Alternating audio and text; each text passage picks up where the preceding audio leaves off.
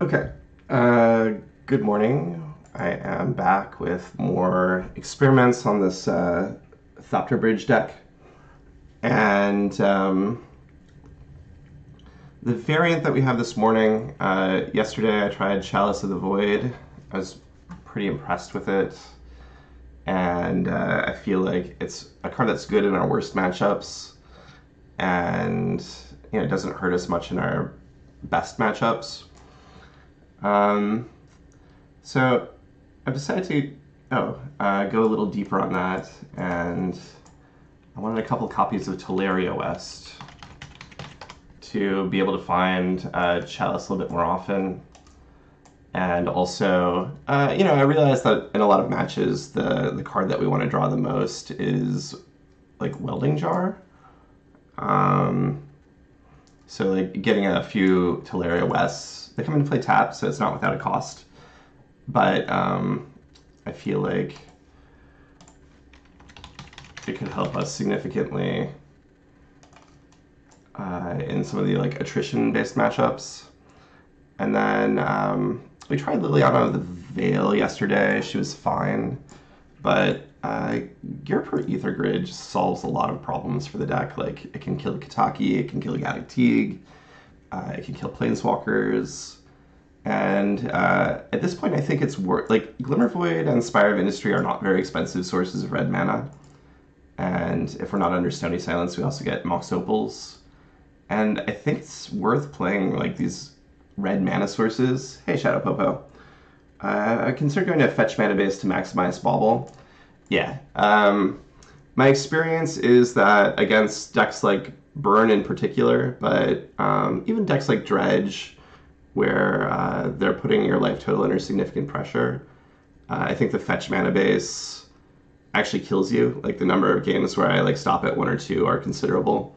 So like the extra tutoring from Bauble is nice, but I think you're giving up more percentage against uh, other matchups. Um, and then, yeah, so I think this is the build that I'm going to play around with today.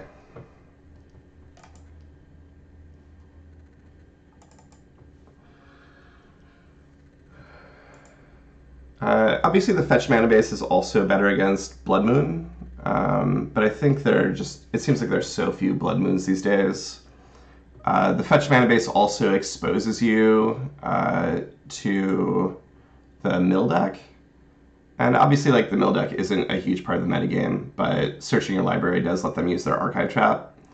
Whereas, uh, you know, with this build, um, your only card that searches is Whir, and if you always Whir for Witchbane Orb, uh, they can never archive trap you, at least not for the zero cost.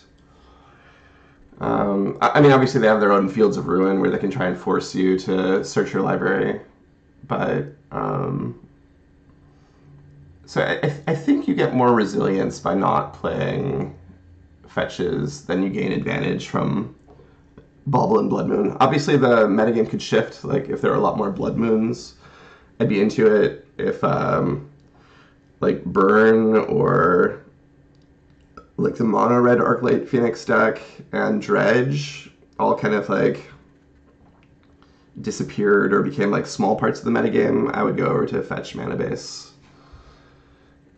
So it's it's metagame dependent. Um, you know, I, I don't want to underplay the value of you know being able to kind of get a free look with your bauble and then decide whether or not you want your next card. Like that's significant significant deck manipulation.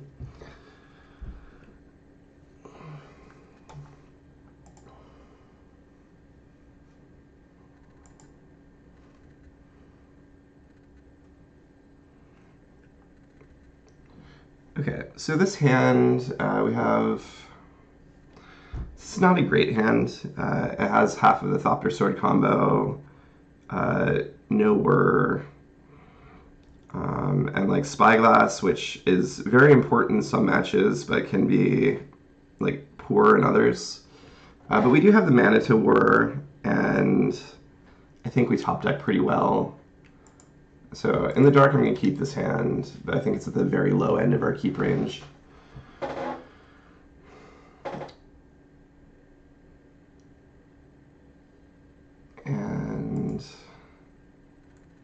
There's almost no chance that they're mono red, but uh, I do want to play these artifacts out before they can be, you know, countered or on the chance that they are actually an Eidolon of the Revel deck.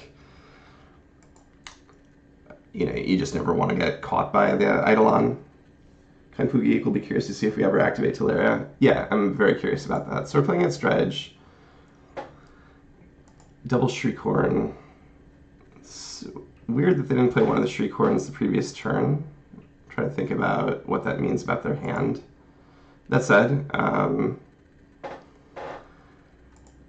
Spyglass is going to be pretty good against these Shriekhorns. So we have the option of either casting Thopter Foundry this turn, and then next turn Whirring for Sword of the Meek. And we'll be able to make one Thopter on that turn. Or we can Foundry now. I didn't realize your username was different than your Twitch. Did I play against you sometime in the last week? Yeah, I think we played. I think I think we've actually played twice, and I think you've beaten me both times. Uh, I think uh, my version of you know whatever you want to call this deck is just a huge dog to uh, like traditional Grixis Whir. Um, I thought the games were pretty fun though. Um, so their Shriekhorns seem like the main way they're dredging. I'm to go ahead and run with the Spyglass here.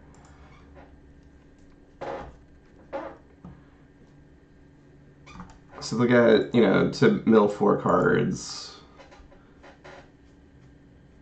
But I think it's to slow them down quite a bit. Um, you know, an active Thopter Foundry plus Sword is, you know, fairly powerful. Alright, so they don't have any enablers in their hand.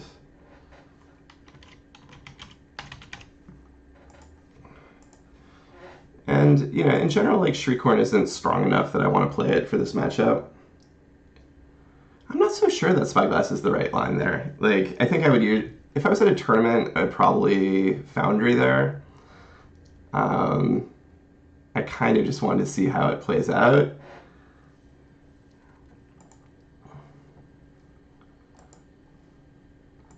right? Like, even though we Pithy Needle their Shriekhorn, they, they still are pretty much just going off.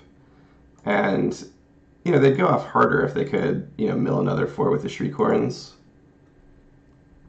You think, yeah, we, you think we have plenty of time. Um, so here we can Whir for Sword of the Meek. Uh, that doesn't make any Thopters this turn. Uh, alternatively, we can Thopter Foundry. The Welding Jar is not going to do anything, so we could turn the Welding Jar into a Thopter uh, and not really cost us anything. So I think uh, they also can loam to get like Tarn, but they, they have more than one land, so like Sorcerer's Spyglassing a land doesn't really do anything here. Uh, but if we Whir for a sword this turn and we Foundry next turn, we get to make a lot more Thopters next turn. So I think we're going Whir this turn. The other option is Bridge, but Bridge just is too small to stop anyone. So we'll we'll just we'll wait here.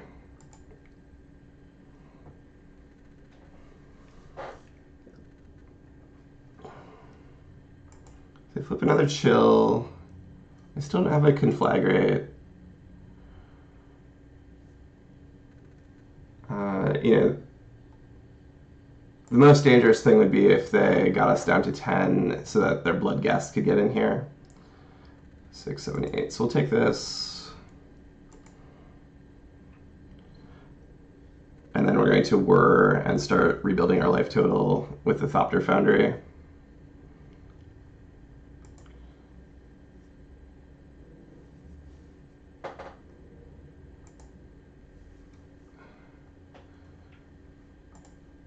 Blue, blue, blue.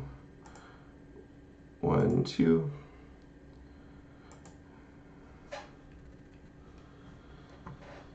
So we'll get Sword of the Meek.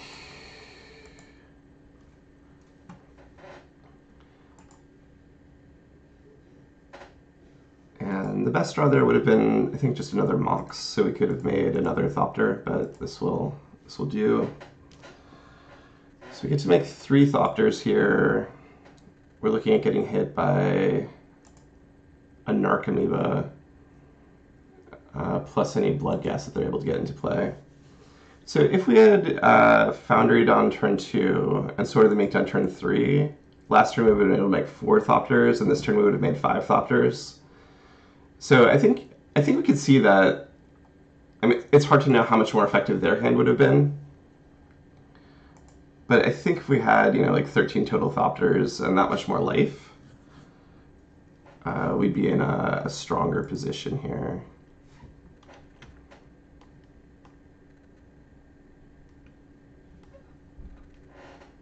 Or for bridge into empty your hand next turn. Uh, so just emptying our hand isn't going to be enough. Like they would probably just burn us out if we followed that line. Like eight isn't isn't enough life. Like we need an active way of improving our life life total from there.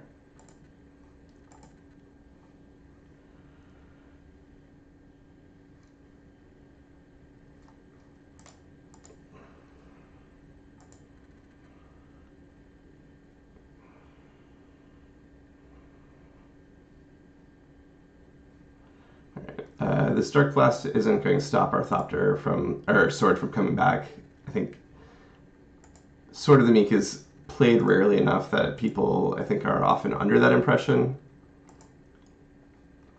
And will often try and interact with your first, uh, you know, Thopter to try and stop it. Uh, two, three, four, five, six. So I think we need to we need to block at least this. We could kill Bloodghast, but it just comes back. But then we do have an extra Thopter for next turn. Three, four, five, six, seven. So we'll take seven and go to one.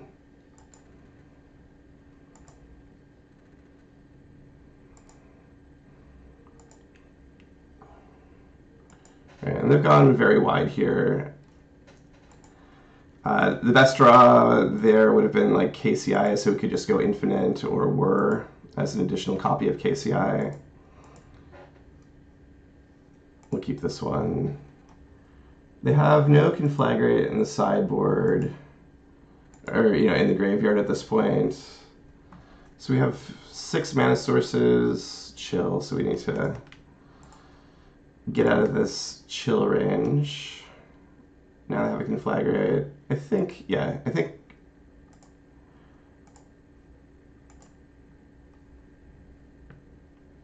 I think we're just dead to the conflagrate here. So yeah, I think the spyglass line probably was bad. Like I think we could have had 13 more life than this.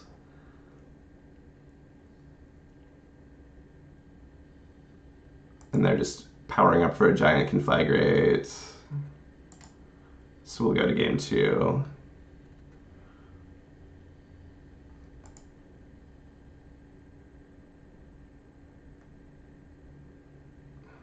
Are they thinking about doing anything different?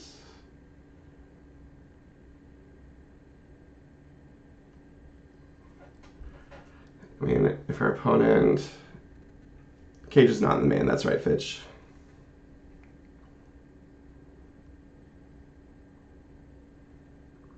We have Cage in the sideboard. Uh, but for the most part, x equals 7. So we bring back four guys. And we're at 1. 1, 2, 3. Yeah, that's, that's good enough. Oh, we could regenerate one of them. What does this look like? think we're dead.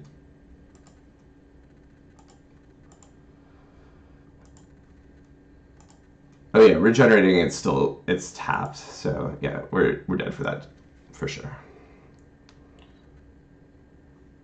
So close, but I think uh, the spyglass didn't help us enough. So uh, game two, we're gonna bring in Grafdigger's Cage so we can go after their graveyard. Uh, they're probably also gonna bring in things like Ancient Grudge. Uh, I think in general, uh, Spellskite is going to do more for us than Spyglass. And, right, like it just blocks ground guys. Um, is Chalice good against them? Chalice is pretty slow. They're mostly just dredging. So I guess we trim Chalices.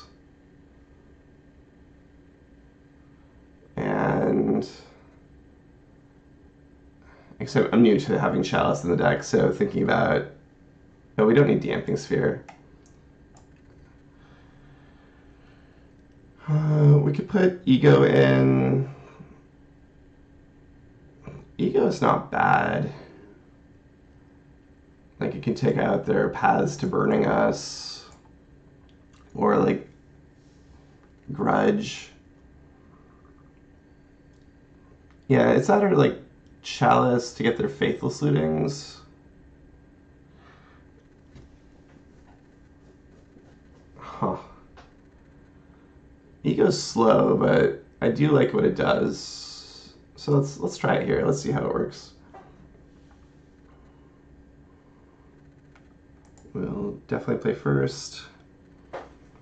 Uh, this hand, I think, is solid. Like, we have the mana sources we need to just curve into Ensnaring Bridge and then Orb, which... Uh, so we'll play this tapped. Uh, right, they can conceivably have a destruction spell for the bridge, so if we don't find a welding jar or a spellskite, they have the potential to just blow up the bridge. Uh, they do have a bunch of ancient grudges, so they're actually very likely to blow up the bridge if we don't find like the right interactive piece. Um, that said, like cracking the bauble would mean that our hand size is bigger and that the bridge won't necessarily be effective. So I think we're hoping to like naturally draw Spellskite or Welding Jar here.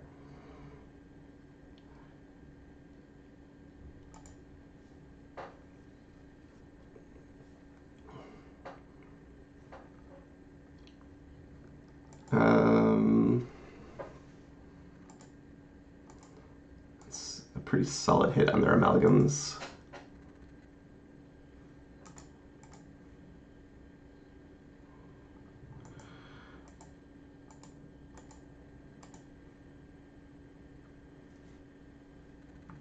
Okay, so we get to bridge here. And I would say our, our draw steps here have been like substantially below par. Uh, just hitting extra lands is exactly the opposite of what we want to hit. And, you know, this is the kind of situation where having looting to smooth out your draws is very attractive. So, if we were to hit, I mean, they're going to hit us for 11. And if we don't draw like a zero casting cost artifact next turn, this bridge isn't stopping the creatures here. Uh, bottled cloister might save us here. Like a whir for bottled cloister would be pretty good. But we uh, three. We don't actually have enough permanents in play to do that. And I think they could still conflagrate us out.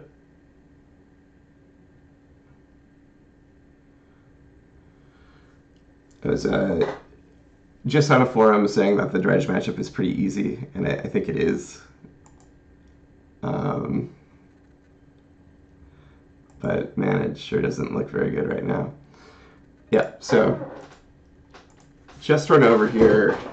Um, I think I think we played game one poorly. and game two, like we just drew poorly. Uh, in general, I think the matchup's pretty good. I think like I think I'm like 60-40 with this deck archetype in general. Maybe a little better than that. But uh, you know, they certainly have some explosive draws. Yeah. Oh yeah, I mean, I'm not worried about it. I'm Yeah, I think the spyglass line was probably wrong. You think we kept too slow the hand game too?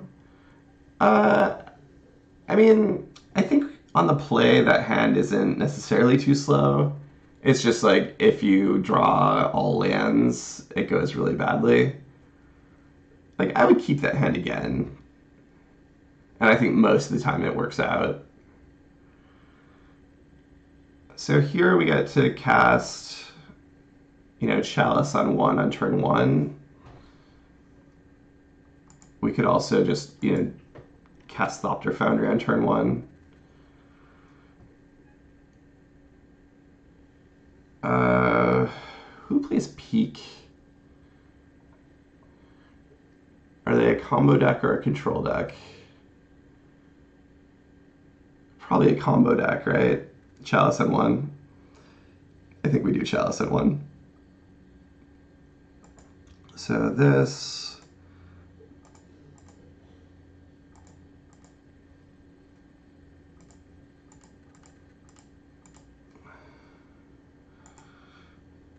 This is going to be very good against a lot of the decks in the format. Oh, sure, fish. Uh, Chalice doesn't do a lot against Merfolk, actually. But uh, merfolk are really bad against ensnaring bridge. So we'll just get a bridge out before they have any counter magic up.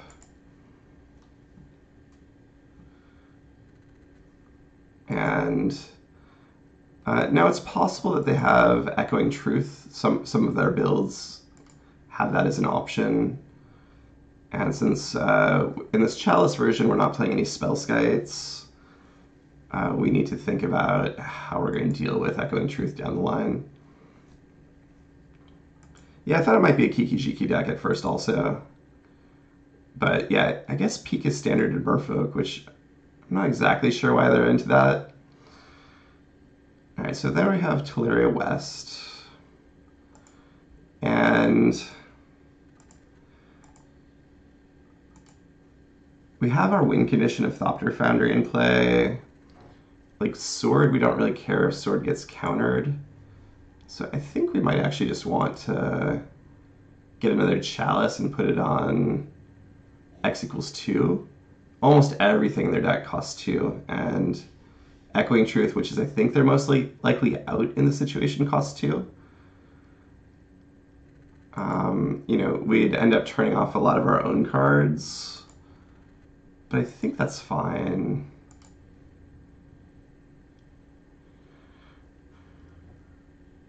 Um, we do need to cast a card this turn so that we can't be attacked. So I'm just going to play out the Spyglass. Uh, yeah, they can't cast the Mistcaller. They can't cast the Aether Vial. I don't think there's really anything that they can sacrifice for at this point. I'm just going to name Mutavault.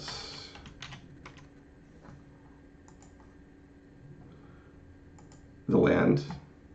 Do you mean Mutavault, or are you thinking of a different land? Yeah. So, you know, turn off their man land.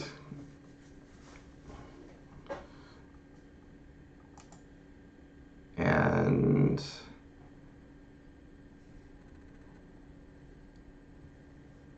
Yeah, everyone's favorite. Oh, Cavern of Souls means that putting Chalice on 2 is only going to stop their Echoing Truth, but that's fine. Um, I guess we'll, we'll cast Cloister here. Cloister will take the pressure off of us to keep casting these spells so that we can actually Tolaria West for what we want.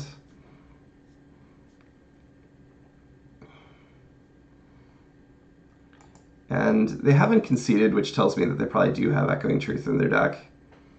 Like my usual experience with Merfolk is once they see your win condition and the fact that they can't attack, uh, they often just scoop it up. I should have cast the Mistcaller with the Cavern of Souls, then it would have gone right through the, the Chalice. Unless they're trying to like storm something here. Spreading Seas, sure.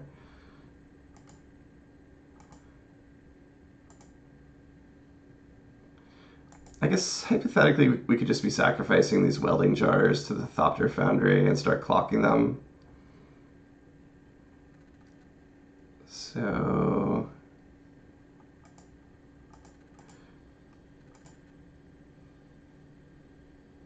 I guess we'll get that plan started a little bit. We'll transmute Tolaria West.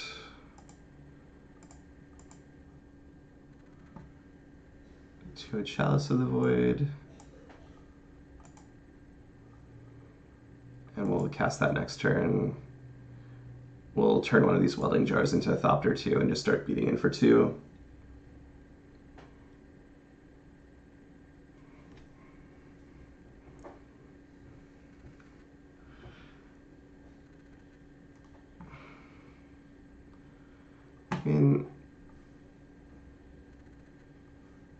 So the Bottled Cloister is exiling our hand on our opponent's upkeep. If they have an Echoing Truth here, it's bad for us, but I don't think they have it yet. Merfolk.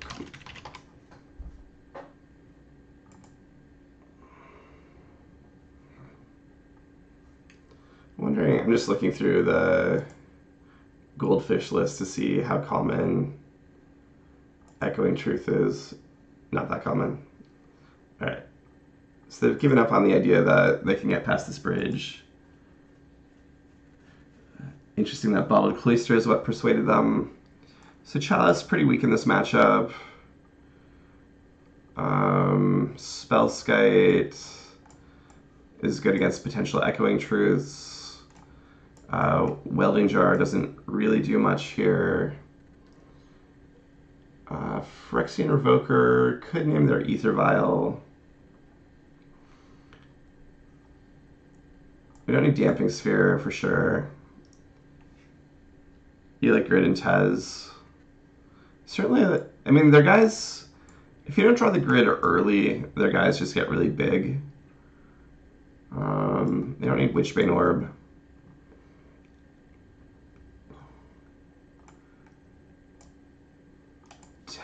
And Tez. They're both kind of expensive and can mess up your bridges, but I guess they're making their guys incredibly large. Yeah, this is this is a match where you know, I guess because we don't have a Faithless Looting type card and Vat Void like Chalice isn't very good. We're just looking at a bunch of weird things. I guess we just play two chalices. It's still like a zero casting cost artifact. I'm not sure how much I like Tezzeret here. But it's probably just better than a random void like chalice. They're just they're very fast.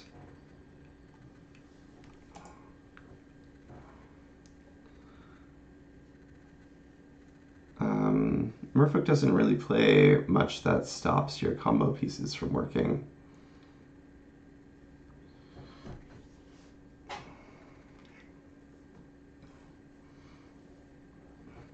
Like, mm, I do I do like the pithing needle type effects, like turning off Vial.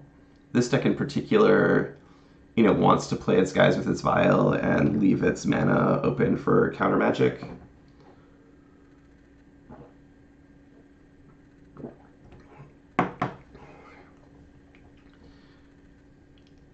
Hmm. So I don't know. I mean, they do have Vial for one, but they always cast that on turn one. So they have like Cursecatcher and Mistcaller as one drops. Yeah, the Chalice just doesn't do a ton. But it might just be better to have like a blank Chalice that you could throw down for zero than to have like Tezzeret, which is a 4 CMC card that you might have trouble getting rid of. Uh, this hand only has one land, and I think like the Ironworks we don't really want in our hand. I think we can do better than this. These are all cards that we're not super excited about. I guess we'll keep this. Uh, hopefully this hand has the, the hidden technology, which is it's small so that at the point at which we draw uh, a bridge, like our hand is basically empty. Uh, I've had some people comment that they think that Opal isn't that good, or sometimes doesn't look good. Certainly the hands where you draw a double Opal seem like some of the worst hands. And it makes me wonder, you know, if the curve is lower, the opals are amazing, but as your curve goes up, the opals get weaker. And so I wonder if like we finally hit a version of the deck where the curve is high enough that maybe we should only be playing like three opals. Yeah. Also, as I added a Tolaria West, it really made me want to play a, um, a Tormod's Crypt. Like, I think one of the really difficult matches is KCI, and what makes it difficult is, right, you get your Damping Sphere in play, but then they eventually just start spining you.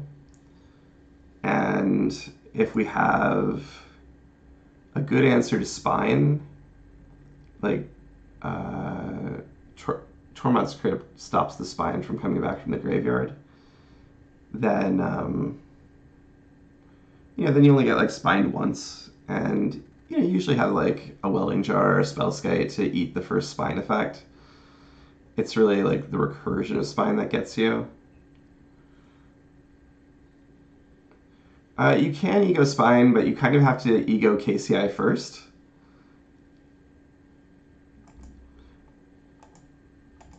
and that means it's you don't usually have the like the ego left to also ego the spine. I mean, if you're lucky enough to have like Whir plus Revoker, so you can Revoker KCI, then you can ego spine.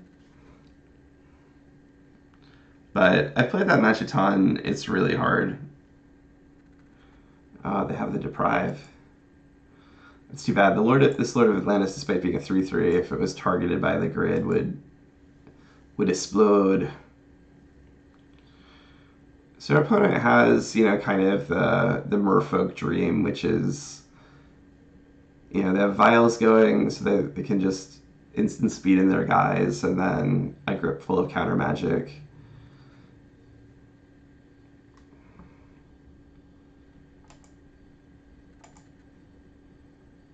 Alright, so you know, that grid would have been amazing. I would have been able to kill both of the phantasmal images. But we just kind of blanked there. I mean, you know, milling low is fine. I think this is this is maybe Unmoored Ego is actually like for their counter magic might be what where we want to be. Like if they just counter Tezzeret He's also expensive. I think this is I think this is where I want to be. Uh, when you say what am I cutting for it, what is it? Um, for ego, I cut the two Tezzerets and the two chalices. Like, I think Tezzeret is very likely to just cycle.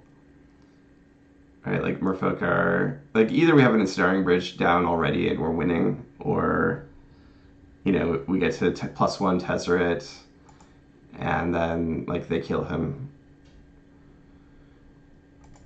So th- this hand, uh, you know, an Ironworks in hand isn't where we want it, but we do have a whir to try and get our ensnaring bridge.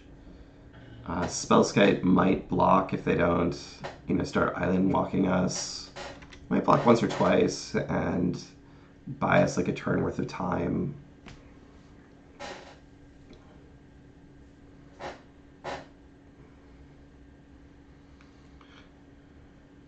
Um, you know, in general, like four lands is more than we want, and Ironworks is a card we'd much rather have be in our library and fetch out with a whir than in hand.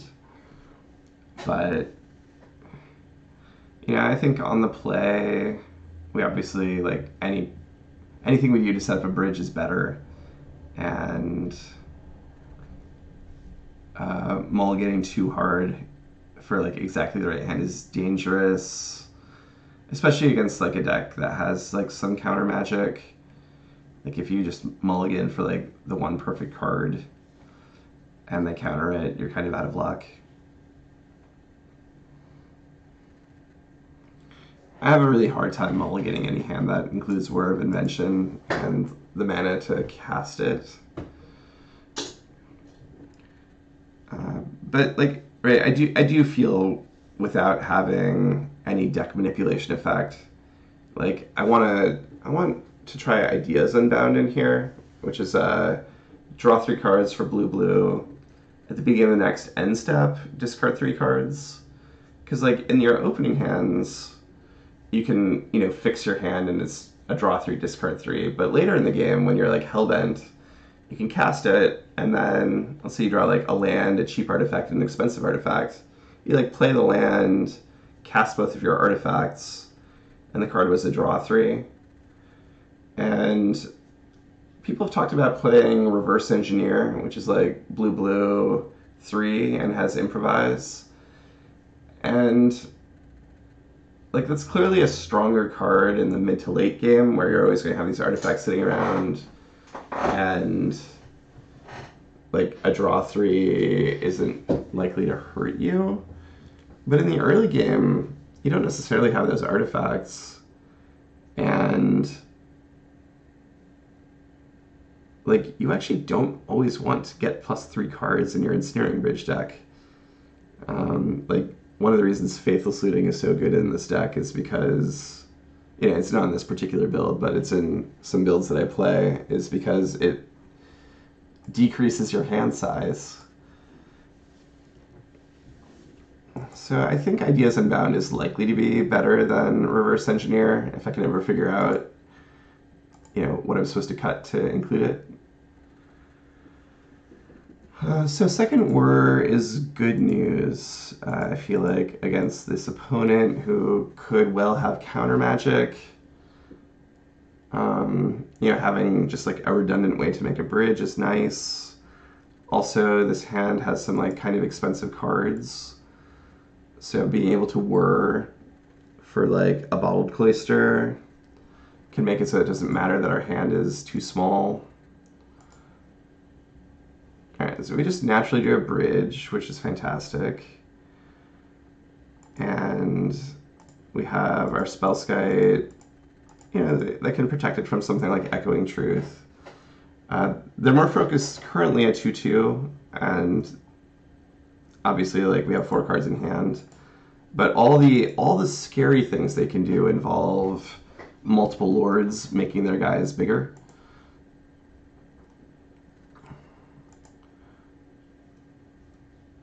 so I don't think they have any way to you know pump at instant speed like they have dismember but that can just kill the spellskite anyway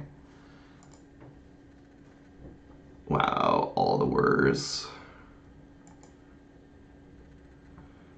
Uh, whirring for Cloister seems pretty safe. Uh, we don't have enough permanents in play to whir for Cloister yet. So I think I'm just going to play this Ironworks.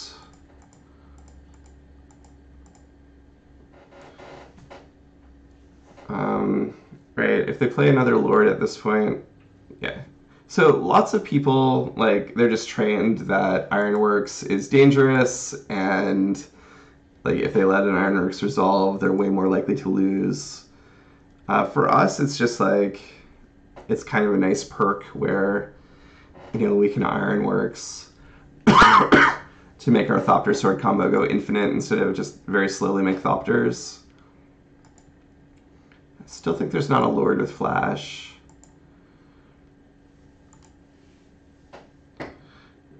Um, so, you know, an opponent countering our whir is often like pretty good. Uh, yeah, we can whir for Thopter Sword next. I think that's that's likely where this is going. Uh, if they tap out, we'll do it. Otherwise, I like doing their, I guess on their end step. see, so they could draw another counter spell, but one, two, three.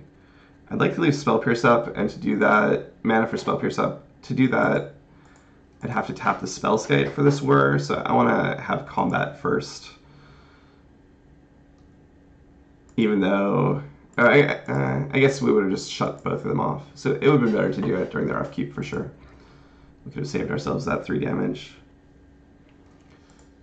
Alright, so blue, blue, blue, one, two.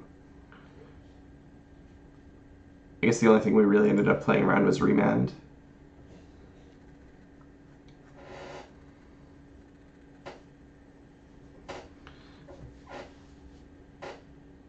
So my expectation is that they have another counter spell here, probably like Deprive. No, they let it resolve. So we'll get the Thopter Foundry. Play this opal.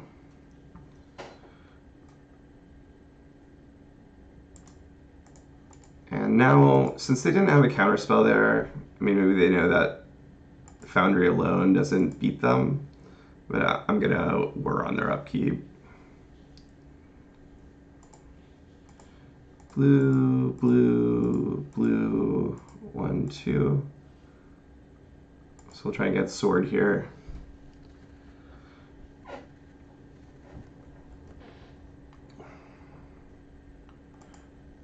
And so it seems to me that they probably have, um, you know, more spell pierces. And so they just didn't have the mana. Like, we had enough mana that they couldn't stop us. You know, we don't really care about Master of the Pearl Trident. Uh, I guess they countered our Ironworks, so kudos to them for that. So here they could play a surgical extraction, and we're going to play around that by not using all of our mana to make Thopters. Uh, you know, if they cast surgical extraction, our response is going to be to sacrifice the Mox Opal. Or maybe the Spellskite at this point, but probably the Mox Opal to the Thopter Foundry, uh, create another Thopter, and create a trigger that the sword is going to return to uh, before the surgical extraction responds, and then you know let the surgical extraction go off.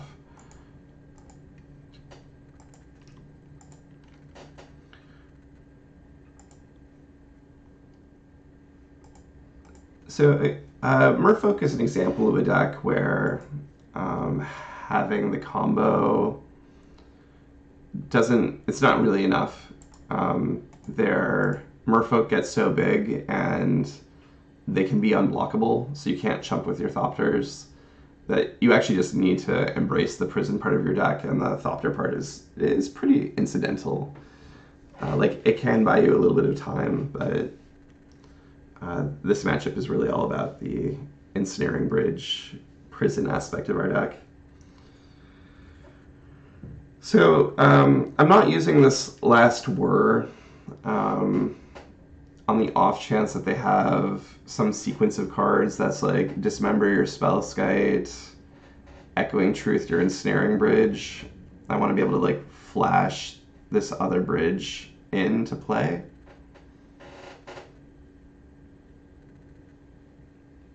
And also I think that like making Thopters with this mana is going to increase our clock by a turn as opposed to using the whir to do something.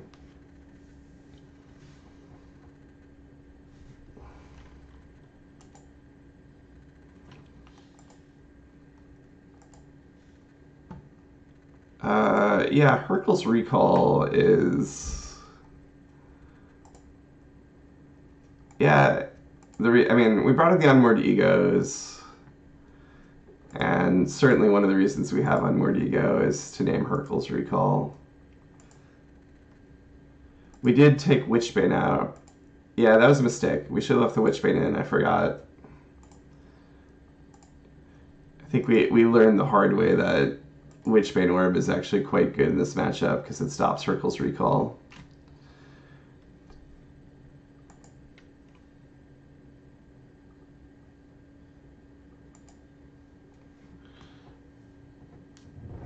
So if they have the recall, uh, they don't have enough Merfolk currently in play to kill us because we gain a lot of life.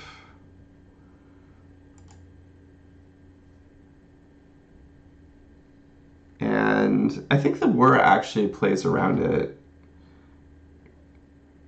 We have one, two, three, four, five. Oh, no, no, no, because then we just have a ton of cards in hand, so it doesn't really work. I don't think casting a second bridge does anything for us, so we'll just keep holding that.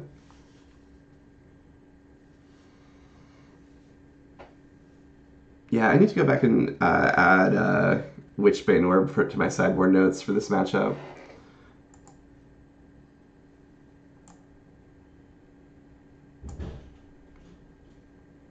Yeah, here we go.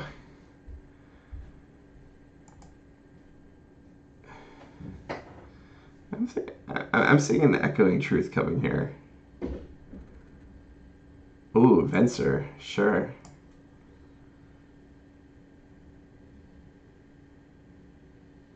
So, I think, I guess we should play the second bridge. Fair. One, two, three. I guess we should let them have Venser come into play and target something.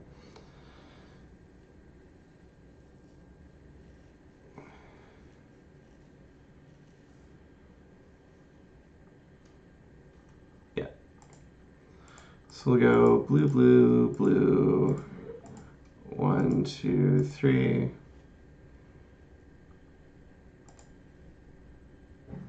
Get another ensnaring bridge.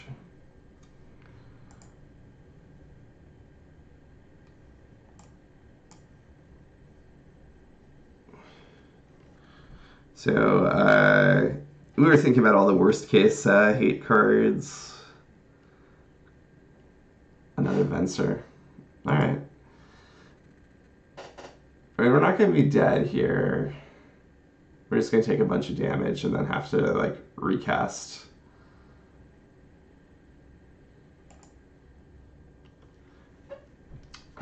I guess unless they have...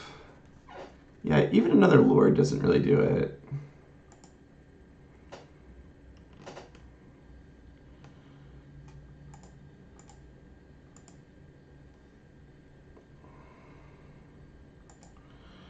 Alright, we're looking at taking less damage than we have life. We'll just kill this Venser here. And we have we have the nine power to like kill them on the attack back. Oh, we could have redirected to this guy. It, wasn't still turned off. You're right. Yeah, this deck is so good that you can make a few mistakes and have it still turn out pretty well. Yeah, we, we could have redirected the bounce effect to the sky. I was thinking the uh, it loses its abilities until the beginning of the next turn, at the beginning of the next end step.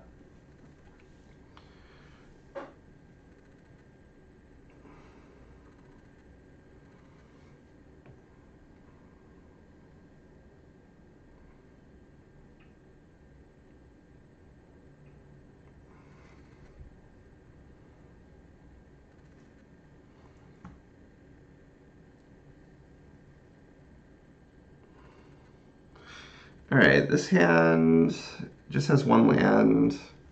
I think we're obligated to ship, even though it has lots of cool disruption pieces. Uh, this hand is not great, but it does. It has. It's actually pretty good. It has a whir. It has a lot of good disruption pieces. You know, we don't like the only thing that's really bad is that it has the spyglass in hand. So the Tolaria West we almost certainly need as a mana source here.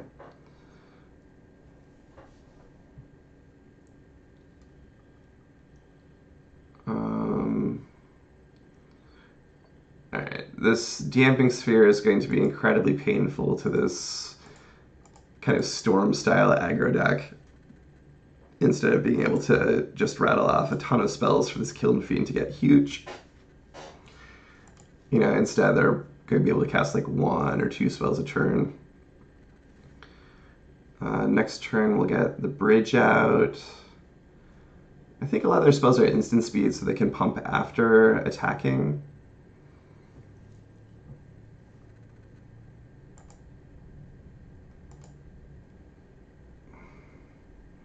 So like uh, the Kiln Fiend's mostly going to get under the bridge. Huh. Do you cast this at the of next? Yeah. So this will count for the damping sphere. Might not matter though. Kiln Fiend's a ferocious clock. Uh, Chalice though will counter their one CMC spell. I think Chalice is actually better than Bridge here.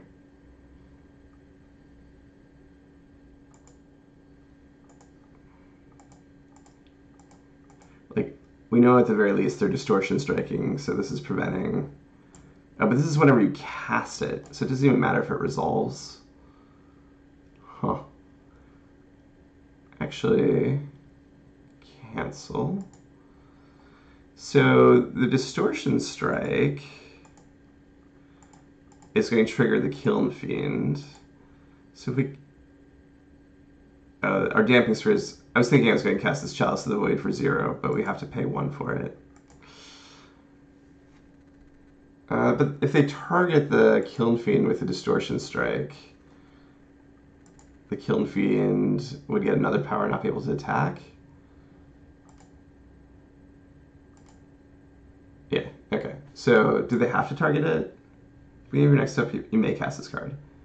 So they probably should have cast it.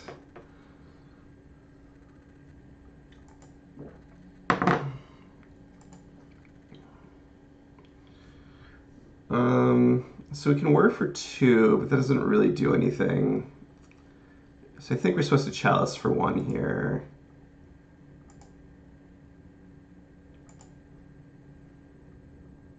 I guess we could chalice for zero and cast Spyglass. And then next turn we'd be able to get Bottled Cloister. That sounds better. Like we just want to build a prison that can't get through.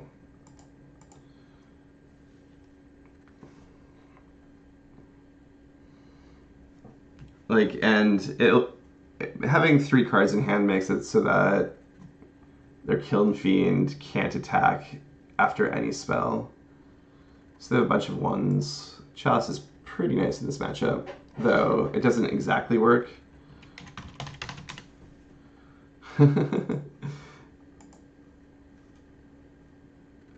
so uh, the problem with Chalice on one is that the Kiln Fiend is all on cast triggers.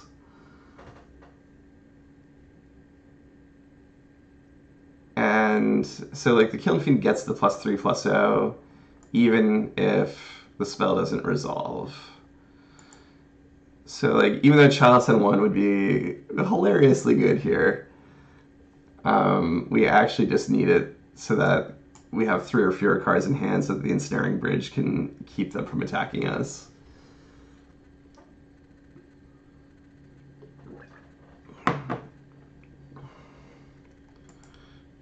Uh, yeah. Okay, so, right, they're going to get two spell triggers in here. Uh, oh, maybe... I'm less smart than I think I am. I get to cast Surgical Extraction. Oh, gut shot for one. Wow. Alright, I'm less smart than I think I am. If we chalised for one, we would have been fine there.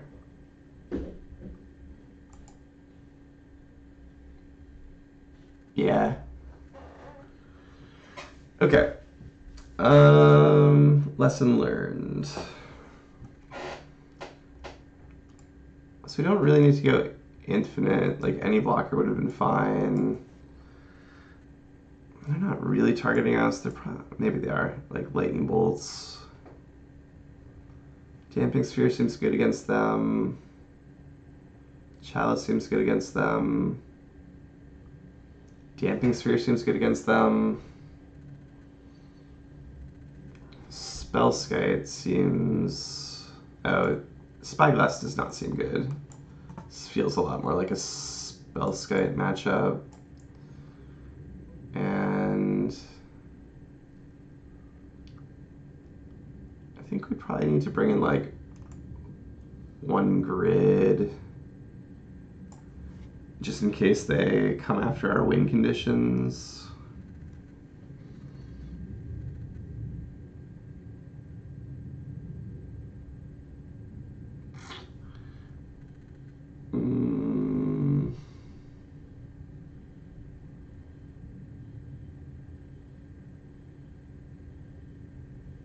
Distortion strike is pretty good, but I think I guess the spellskite helps with that. I think we run this.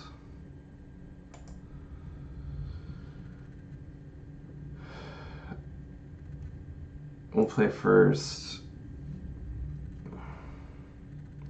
So we have Thopter Sword here uh, with a Welding Jar of protection. Uh, they did have main deck Surgical, so we're going to have to be careful to play around that. Like, never tapping our last mana source.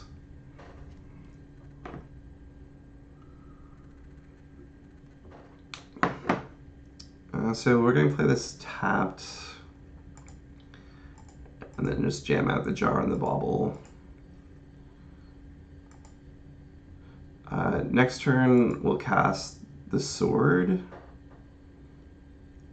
Uh, right. Yeah. Let's see, do we want to crack this bauble? We're not really like playing a bridge. Yeah, I think we crack the bauble. If we can get a chalice for one, I guess we probably. Huh, chalice doesn't really stop this guy. That's fascinating. Pithing Needle is actually a good effect against him.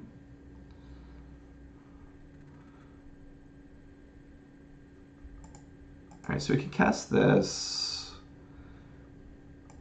And we'll cast our Foundry. And in theory, next turn, if we play. If we draw another zero, we could whir for. I guess we can't whir for KCI, we took it out.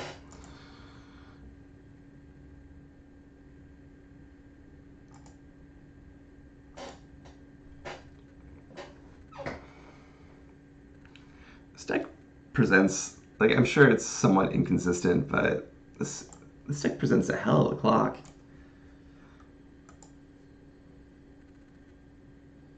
Or it can. I like the Magus Elemental. I haven't seen this for a long time. Okay. So, if we play Sword, we don't really get to play around Surgical Extraction. Uh, we could Tolaria West, looking for Chalice. We have an alternate win condition. We could also go for Bridge. Going for Bridge seems actually a little bit better to me, given that they could be playing Surgical Extraction. Like we can empty our hand next turn, and if they cast spells before combat, like we could potentially kind of get them here because they, they can't see the bridge, so they're not necessarily thinking about the bridge stopping them. Like it's just habit to cast these during the main phase because some of them are sorceries, so it's easier to string them together.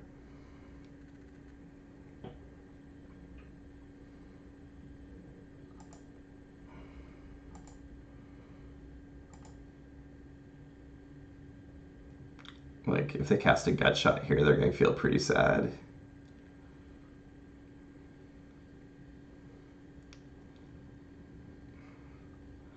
There we go, there's the mutagenic growth. So we're actually going to stop their whole team with a bridge, just because it was not predictable.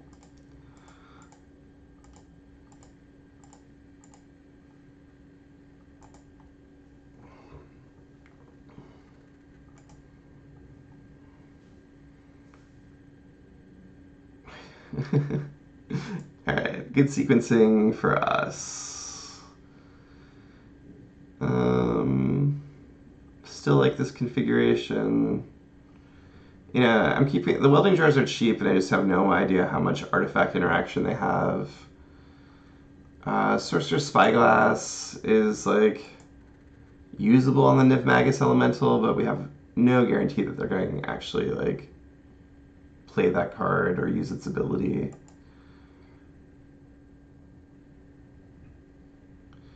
If I had pithing needles, I might look at it.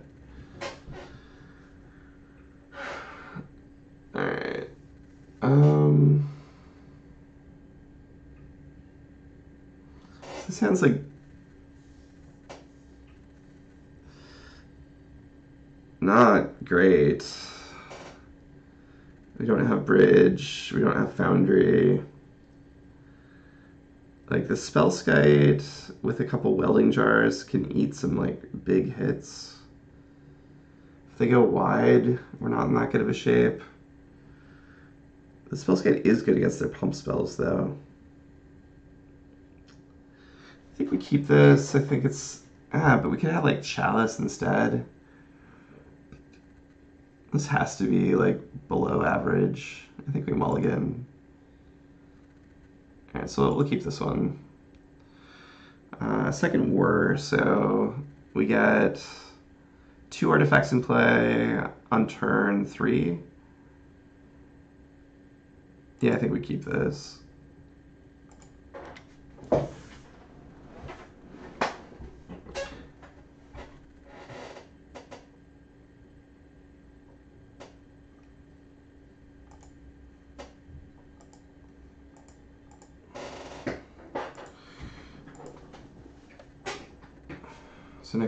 Cast Sword. And then the following turn we can Thopter Foundry, and then the following turn we can Bridge. Uh, this is maybe a match where like keeping KCI in would have been useful. Like they're pretty good at doling out a lot of fast damage, and the option of making our Thopter swords go infinite seems pretty appealing. Wow. So explosive.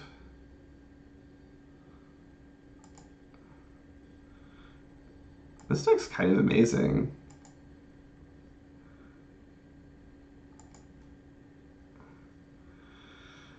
Um, I guess, I mean, they only have one card left, so they've used up most of their gas. Probably.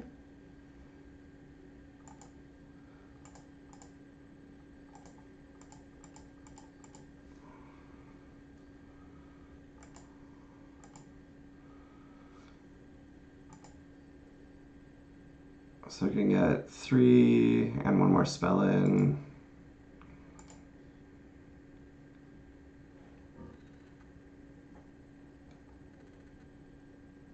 Kiln Fiend.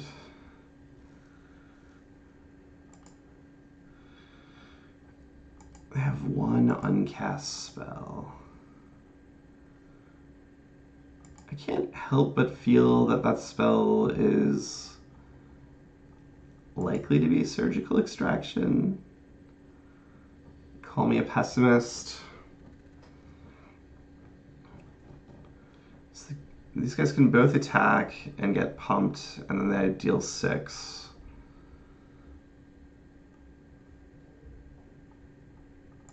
So I think it could be like a gut shot.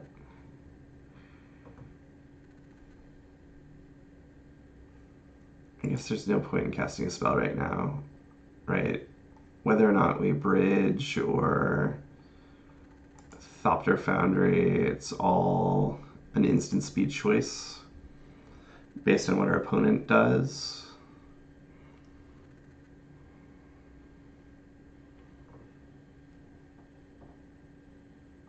Alright, so they cast the spell pre-combat.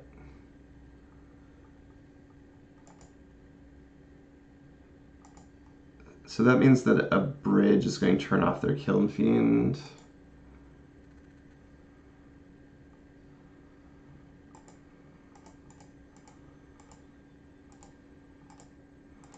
So one, two, three.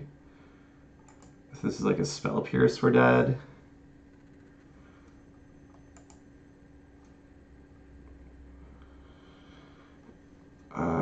We died to like exactly mutagenic growth here. If it's a dispel, you should now. If it's removal for one of your Thopter, then it matters. Yeah.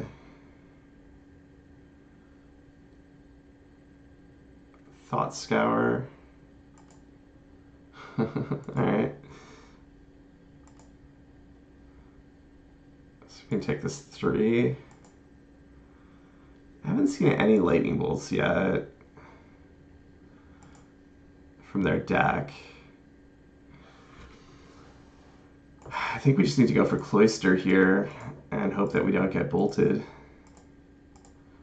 Two, three, four. I don't think we can rely on Thopters.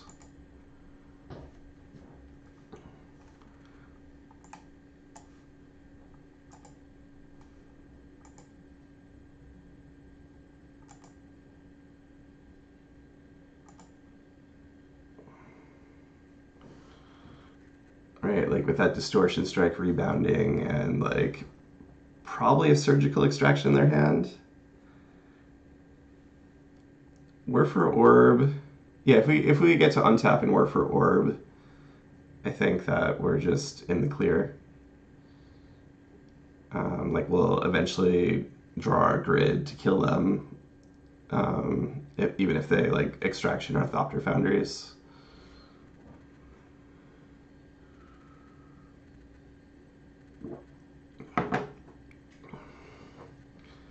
Obviously we could also draw like chalice and chalice for one and it seems like it would turn off nearly 100% of their deck if not actually 100%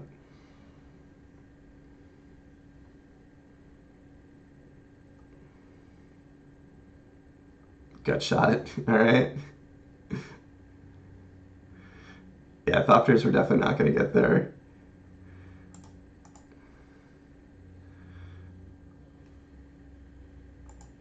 So we're for four. One, two, three, four.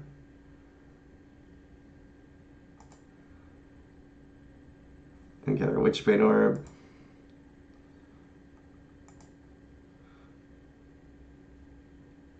And that should, yeah, end the game. Go being a prison deck. Abrade is still bad. I don't think they play Abrade. Like, that thing costs two mana. I think the only two mana thing they had was Kiln Fiend.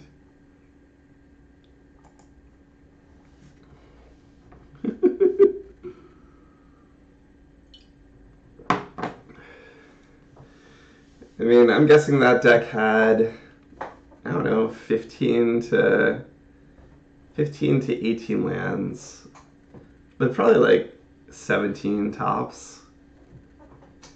Like that's just like a old school like grow style deck. I think a or Smash is like the only other out they potentially have. Yeah, that's entirely possible. I think. I mean, we could have. No, we had bottled cloisters, so we needed to commit before we saw what they're going to do. I think Witchbane Orb gets you out of that situation most of the time. We had five lands in play. So I, I guess conceivably a Thopter Foundry would have like put our life total outside of that burn reach, and if they had smashed smithereens, it would have saved us the three damage from the smash. So it, it might have been safer to cast Thopter Foundry there than to cast Witchbane Orb.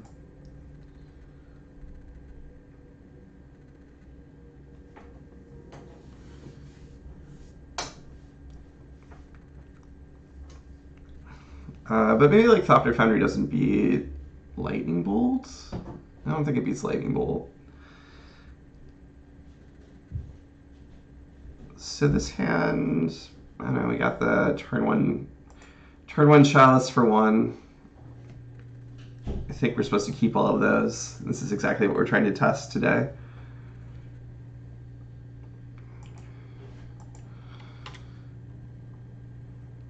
Uh, Nihil Spellbomb. Uh, I wonder if we're playing some kind of mirror. Like, who plays Nihil Spellbomb from a Darksteel Citadel? Some kind of KCI maybe?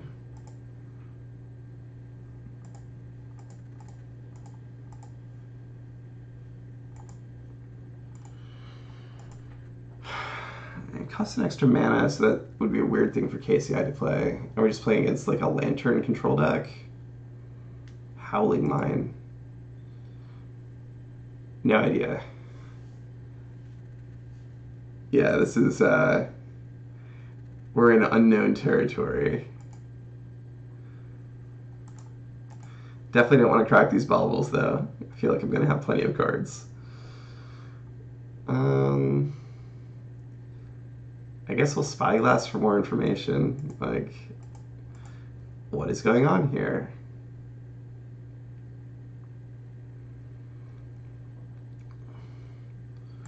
Sly Requisitioner. Scrap Trawler, Ironworks. So it is like an Ironworks variant. We'll name the Nihil Spellbomb. Like, no reason to let them recur that. And I think I think we're going to want to set Chalice to another number. So I'm going to save this Tolaria West. And that number might be zero. Uh, it'll hurt both of us. Memnite. It seems like they're planning on going like wide with tokens. And their list isn't necessarily good. Their their current record is 0-1. This is the Thopter Sword Grinding Station deck. More combo, no prison. Okay, so we should name Grinding Station at some point with a Spyglass. Uh, Sistral, do you have any ideas about like what we want to do with the Chalice of the Void? I'm obviously just going to cast this Ensnaring Bridge this turn. I think we clearly don't want to Chalice on two, but it seems like we might be very interested in Chalicing on three or on zero. Also, imagine they play Engineered Explosives. We probably should have set the uh, Spyglass to Engineered Explosives. Like, explosives are kind of always always the linchpin of this kind of matchup. Well, we have one already, so the question is like, what is the next chalice on? They have one scrap trawler in play. For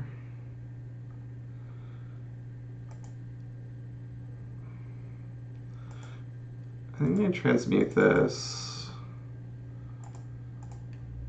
I think since we have another chalice already, I'm just gonna get a welding jar to play around explosives. I could get an inventor's fair. That's interesting.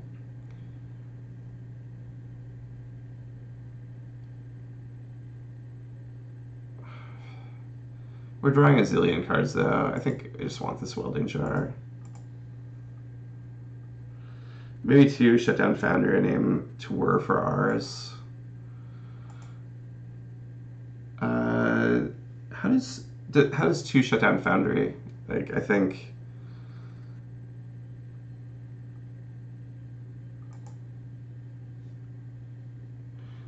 Oh, I guess I see. If we shut down twos, interesting. Uh, no, they're just gonna get Sword of the Meeks back. So I think two doesn't really do anything for us either. One, two, three, four, five, six. I'm gonna do it on three. Like we already have one bridge in play. And it stops them from playing another scrap trawler.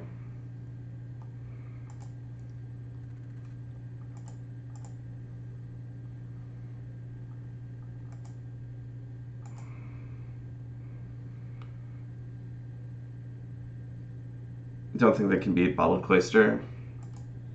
Um, if they have, what is the card called? Uh, the Station.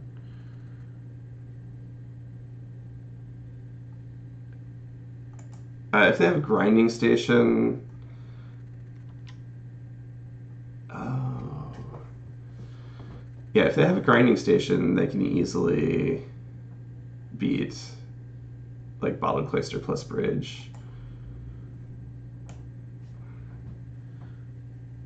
Like right their combo is they're not planning on attacking with this. They're planning on getting one ones to return sword of the meek and then just keep using grinding station on us.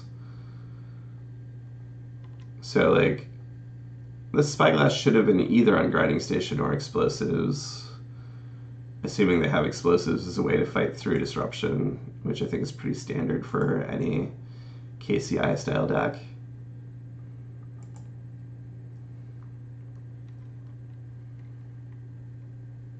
Yeah, grinding station. Um,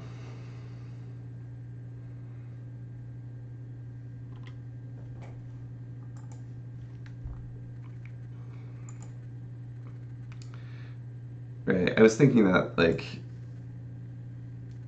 right, Nihil Spellbomb isn't really relevant disruption for our deck.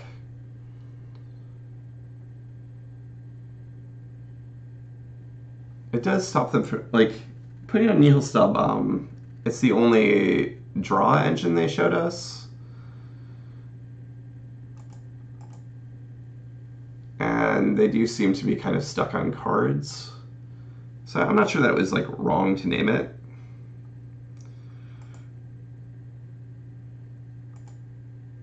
And you know, it does also look like they are interested in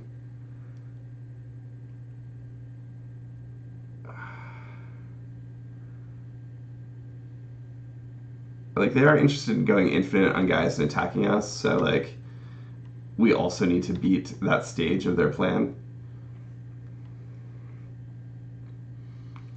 Right, because they're like sacrifice. Okay, so we need to empty our hand out. Um, I guess we chalice on zero like we have enough of our zeros in play and it stops explosives from destroying all of our zeros. Yeah, I think that's good. It also stops them from like casting Memnite and stuff, or it makes it go directly to the graveyard anyway. Then we're just gonna get this bridge countered. So now we can't get beat down by Thopters or servos.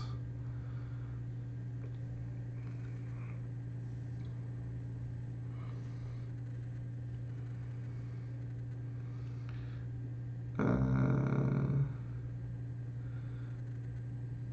I think if they have explosives, they can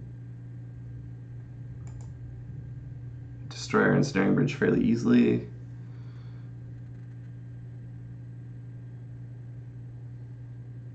There's the grinding station. So that they just have infinite. Yep.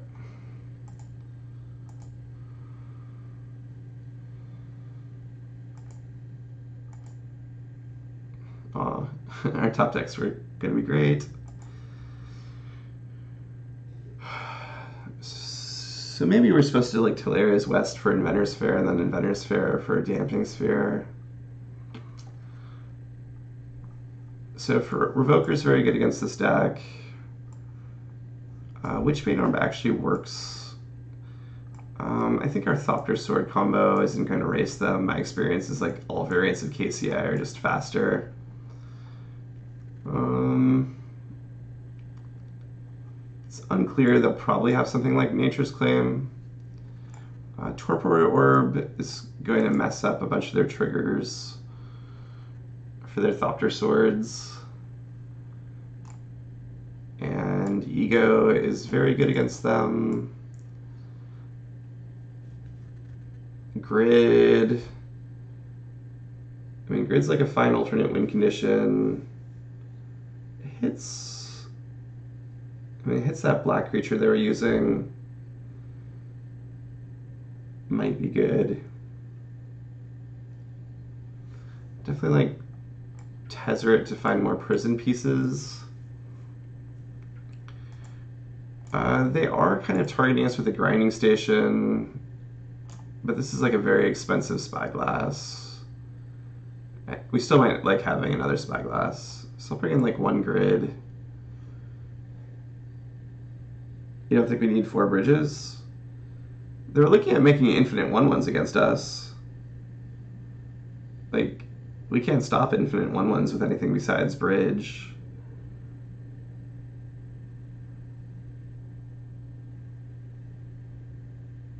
Or are they not making infinite one ones?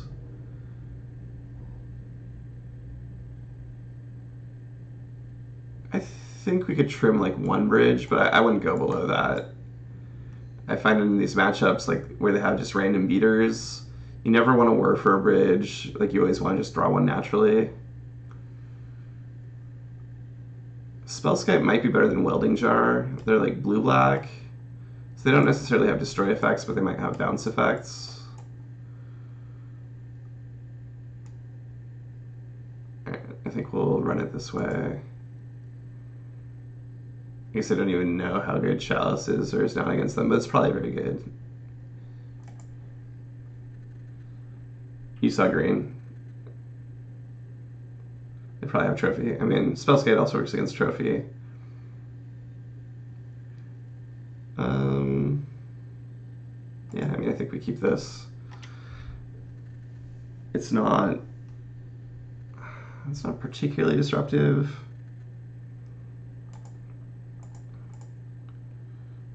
Uh, maybe this is actually just a terrible keep. Like, we don't have Ego or Whir, which seem like our best cards here. Like, it's possible that, or even like Chalice. Yeah, we, we should have.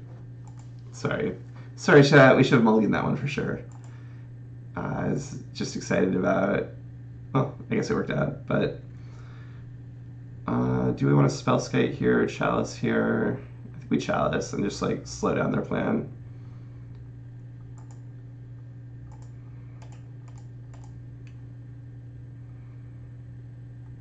It's better than spell skiting and chalicing for two. Yeah. Like they just have a bunch of eggs and not letting them cast their eggs is hey Tug uh pretty good. Um yeah, just playing around with different versions of this deck, which makes me pretty happy. How are you doing? There's a Thopter Foundry. Right, so they also have like the same infinite combo that we do. Yeah, I think Bridge is actually really good in this matchup, and I don't. I think if we make it to game three, we don't want to cut any bridges. So we can cast Grid or Skite. Casting Grid's more mana efficient. But we have plenty of mana. I think we'll, we'll cast Skite here. Like we can't, there's nothing we can grid to death. Um, we're playing against some unknown KCI variant, which is interesting. They have Infinite Thopter Foundry, they have Grindstone, they have like Ornithopter. Not entirely clear what's going on. I guess we could kill their Ornithopter. So I don't know if that's relevant, but we could kill a Scrap Trawler now. So I think we want this grid in play.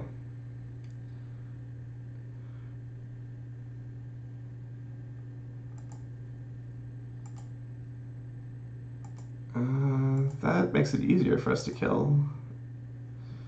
Rather deal with a Thopter than an Ornithopter.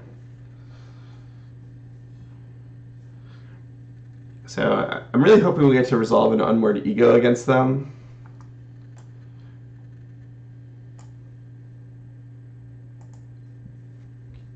And actually see what their deck is up to.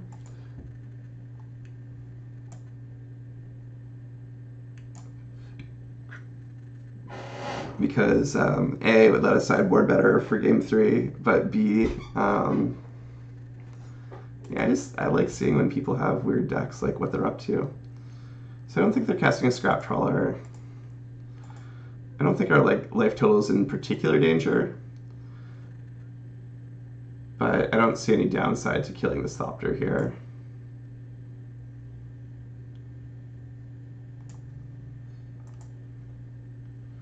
I you like that they're grinding themselves. Like Grind Station is a kind of like combo win condition that also enables their own strategy seems cool to me.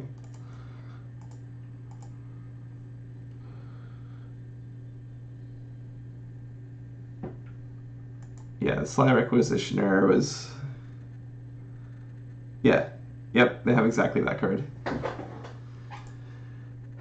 Do you know more about their list with that information? So I guess we should think. We can practice Inventor's Fair to get uh, a Spyglass. And that actually seems better than casting Bridge. Like, they can't attack us for infinite at instant speed. And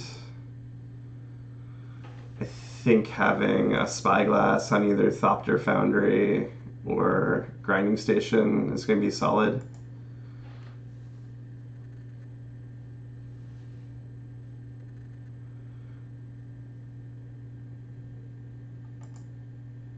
Uh, they're just self-milling themselves super hard.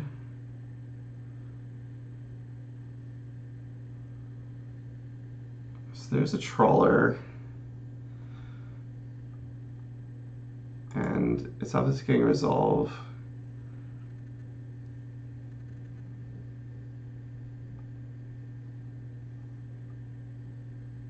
So I think we just want to kill it right here with this trigger on the stack. I guess that means we won't be able to trigger our Inventor's Fair.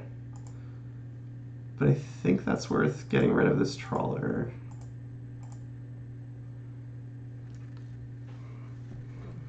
maybe I was supposed to fair and then kill the trawler next turn. You saw Seth from MTG go Goldfish right once. Has multiple ways to go infinite, but seems you need to have those figured out. Uh, yeah, just because we understand all of them doesn't mean that like we have a plan to stop all of them.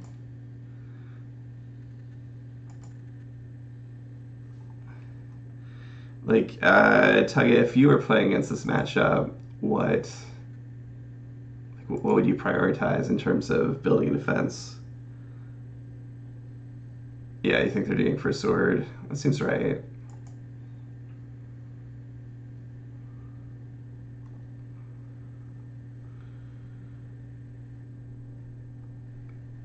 So sword lets them go infinite with grinding station. if they have a KCI also.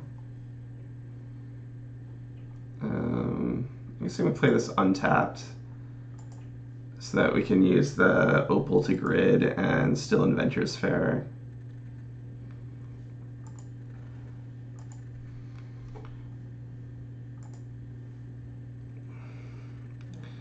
I guess we can Glass Foundry and win with Tez Grid.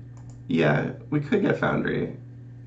But if we get Grinding Station, if we get Grinding Station, the Foundry part almost doesn't matter.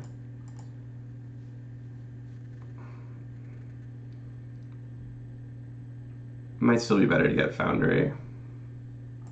Uh, we took out our own Foundries. Um, sure, so we'll, glass Thopter Foundry.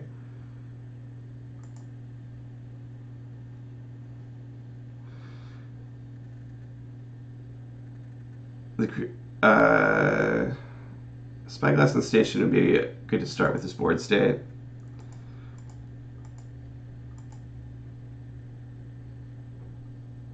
Yeah, so like Grinding Station gives them a lot of reach against us. Wow, they have double whir, so they can go infinite with Thopters. Um,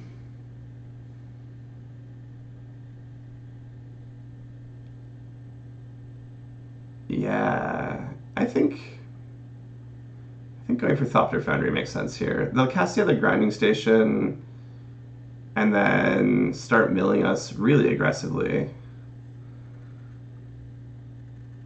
But I think, yeah, we have to go for Thopter Foundry.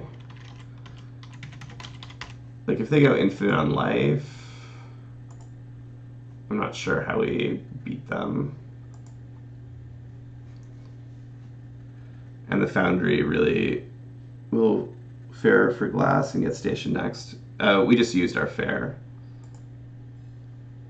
So, but we'll, we'll go for grinding station next. Um, so like, I understand that we're playing digital. Uh, if we if they go infinite on Thopters,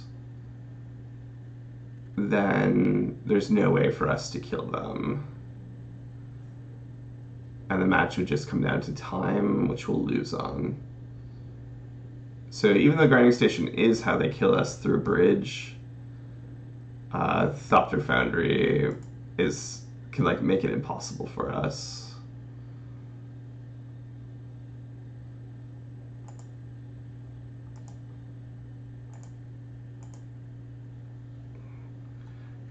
Not exactly sure what they gain by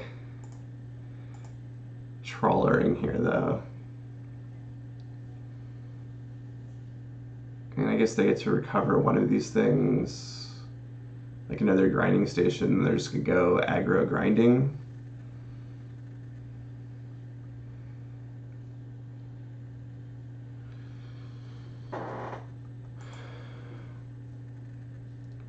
Like if we still had our own ability to go infinite, like or we were playing paper i think i think i would have gone for the grinding station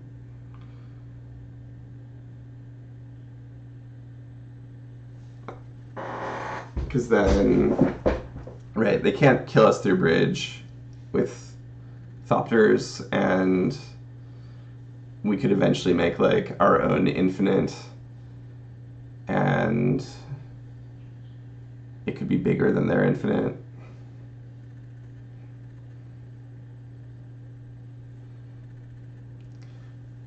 Uh, at this point, I'm supposed to crack this bauble I think we want to find an answer to their grinding station.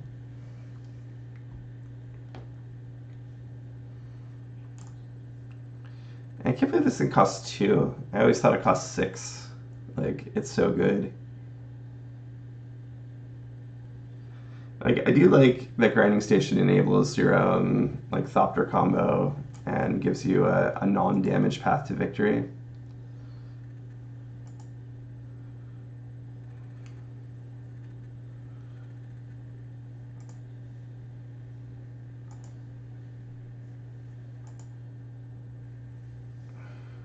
About to get ground pretty hard.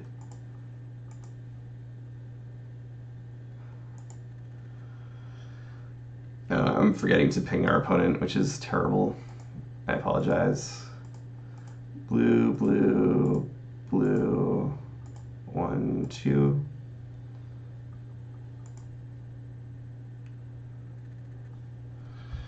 So at this point, we will get another spyglass.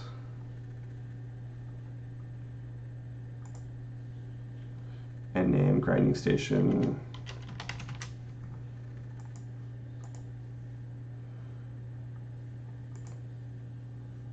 So now we don't care about these and their triggers.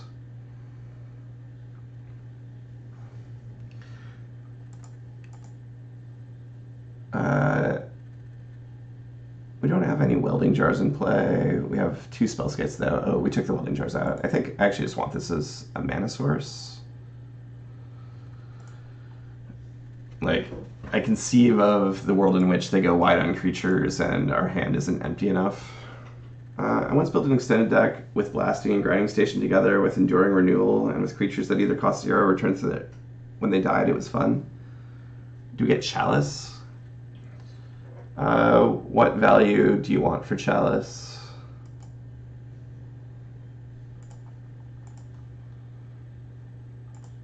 Uh, like I'm, I'm open to getting chalice. Witchbane Orb is, I think, an excellent development.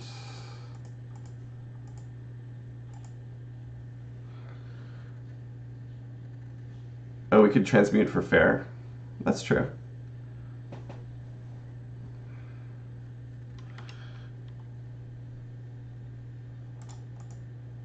Um, right, because uh, we didn't know they were going to.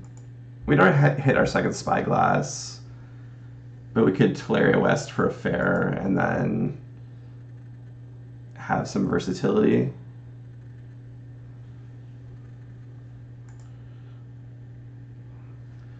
Right. So we think their last win condition is just going wide with creatures and beating us down. Yeah, you're right. Having a, a U source in play we should have we should have fared the Tolaria West. Tolaria West is kind of new to me today. Recently borrowed technology from the Salt Stacks cruise. Alright, so I'm gonna get this bridge in play before something weird happens and stops us from playing bridge. And then also the Spellskite, because it's an artifact and uh, helps us ping down three, four, five, six, seven, eight. Yep.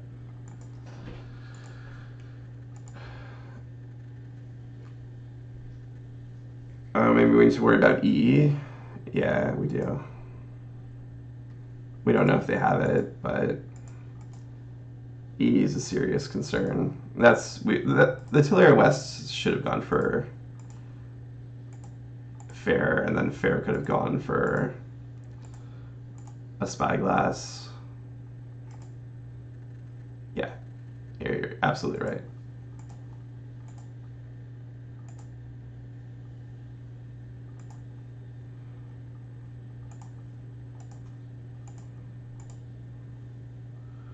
One, two, three, one, two, three, four. So we just play this extra opal to get an extra damage in this turn.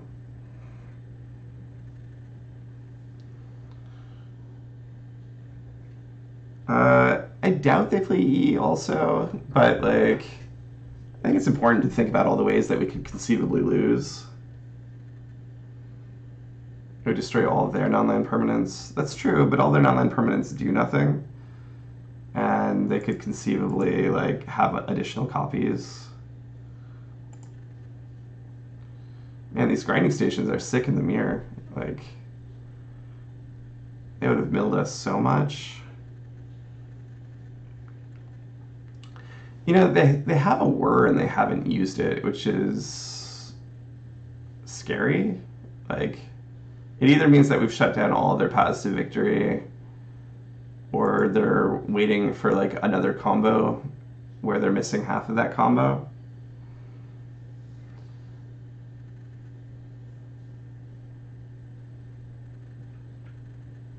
So we get to they're dead on the next turn, so they have to they have to try something here.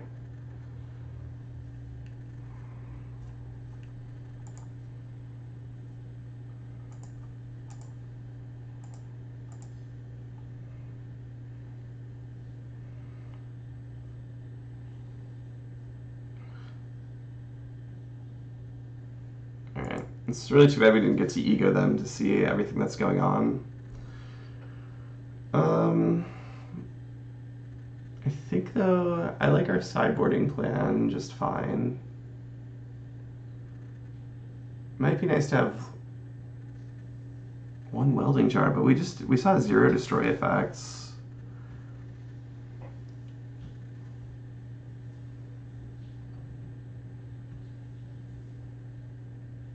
Yeah, I think oh damping sphere doesn't seem like it does anything. So we'll play one welding jar just to have it as an option. You like KCI to counter it, them going infinite? Um, the problem is they have more time than us, so if they actually do get to go infinite, like they'll just beat us on time. And then we also have to like spend slots on Thopter Sword. And I don't think we have this like I don't think we have the slots. I mean, we could spend like a couple slots on it. Like if they try and mill us, we're likely to hit one sword. But yeah. I think if we are playing paper, we would definitely want to have at least access to it ourselves. Because then, I guess if we're both going infinite, we still don't get to go over them. I don't see how we do better than tying them there. So we have a whir. I think whir to shut off their combo is fairly strong. I do like, right, they have Memnite to get a nut draw together. That's nice. Oh shit. Sorry.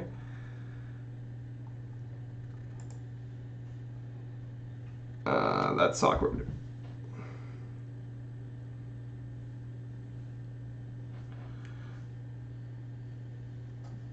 Bad stop setting. Okay, let's try that again.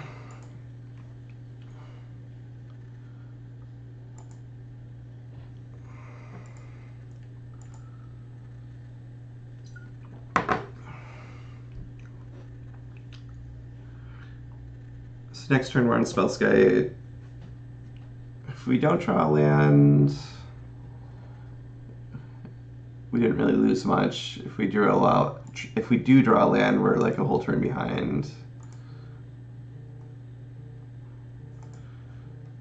So I got my wish. We have the unmoored ego. Uh, we need another artifact that's cheap or another land to do it.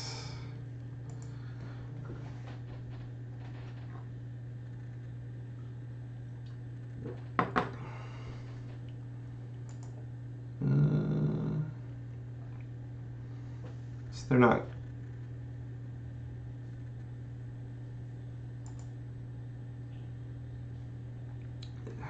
Requisitioner, is this just infinite? Amazing.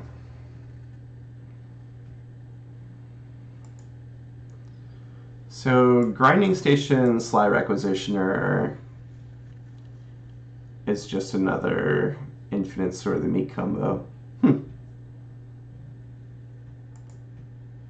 That's cool. I wonder. I wonder if we should appropriate their technology sometime. See how it plays. Like if you're going to have sword, maybe just go heavier on swords.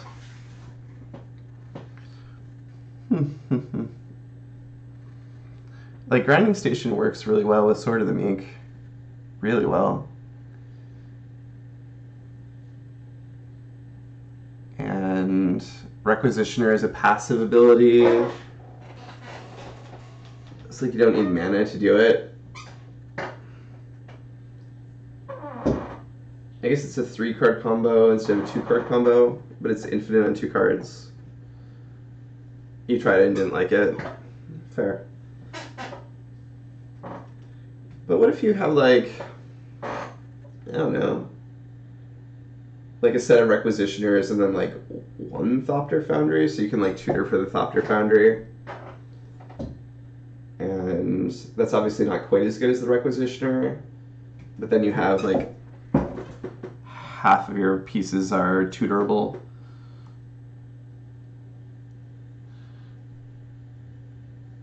And then, right, like you just have like one tutorable bullet for the other half. So if you have like four foundry, and like requisitioners, I mean that's obviously like super combo heavy. You're moving away from being a prison, but maybe you're like also a faster combo deck sometimes. Okay, we'll keep this. This has a lot of potential. You know, Damping Sphere stops a lot of the fastest combo decks. And then Bridge stops a lot of the aggro decks. We've got several zeros to empty our hand. And with like one more blue source, we can whir.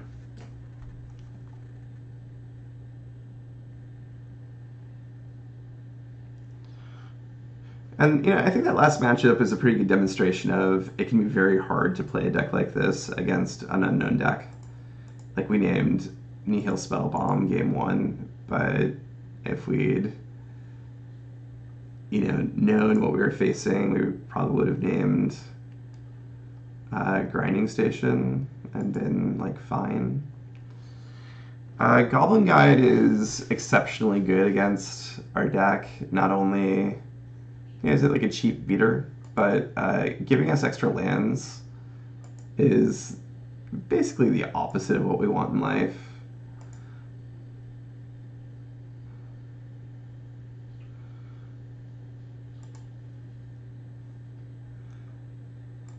Like, uh, I think we're gonna have enough permanence to like next turn we'll bridge, and then we can whir for Bottled Cloister. But I'm not sure if that's going to be fast enough here. The Damping Sphere might slow them down a little bit. But their spells are very cheap.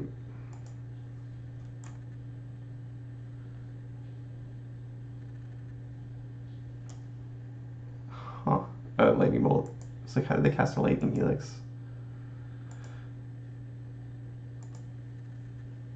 A chalice. Prowess just triggers on cast. Uh, this bridge, we have too many cards in hand.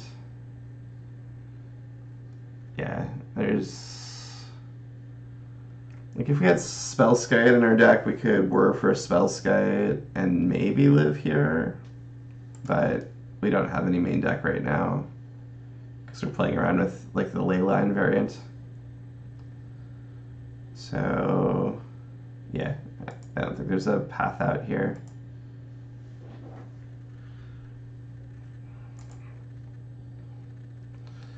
Alright, so we'll get our Spellskites. Chalice does seem good.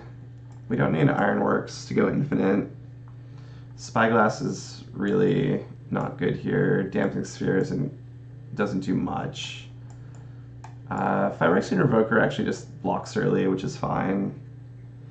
And uh, I guess having the ability to go infinite, like we could be at pretty low life, and that can be handy.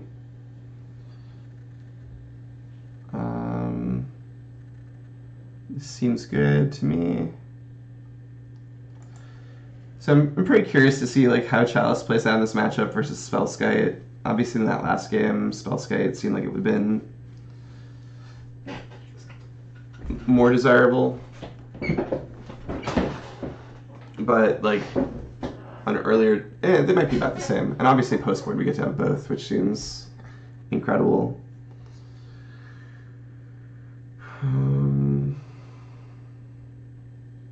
mean, we still have you know deck fixing, but matches like this, you kind of have minimal amount of time to fix your deck anyway.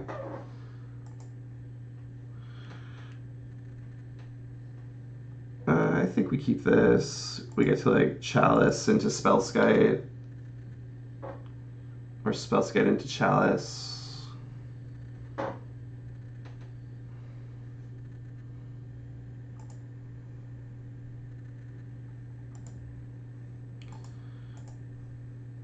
Um, is manning bridge is important at all?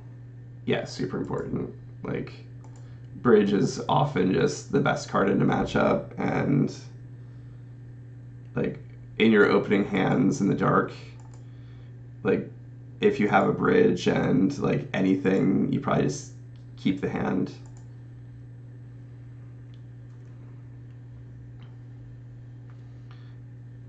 So I think Chalice is going to prevent more damage than casting Spellskite here.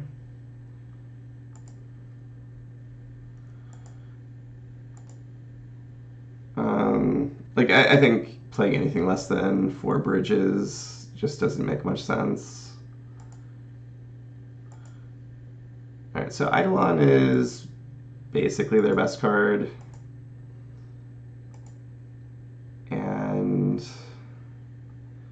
Fortunately, like Whir of Invention can go over it. And with this Spellskite in play, we're going to start ticking up in life.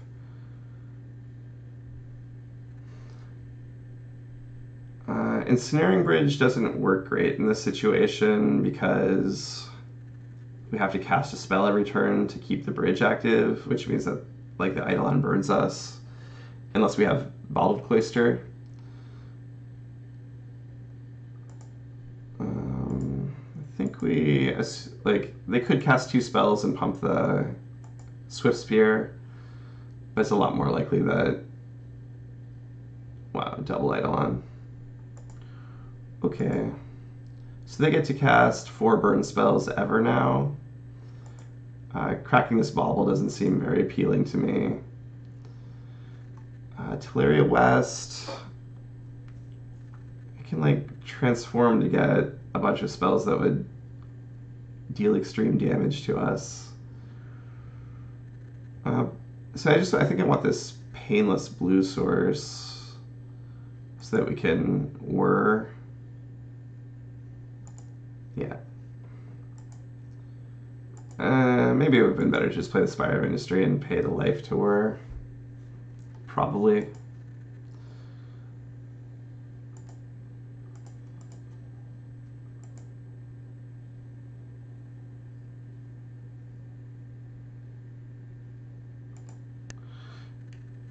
Guess what we'd maybe transmute for a second chalice. Uh, I think we need Thopter Foundry here to just gain life.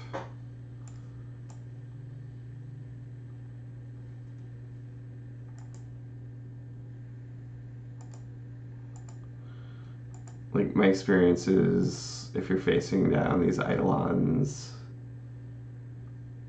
gaining life is really where it's at. Uh, we could also we don't have enough artifacts to sacrifice to the Thopter Foundry.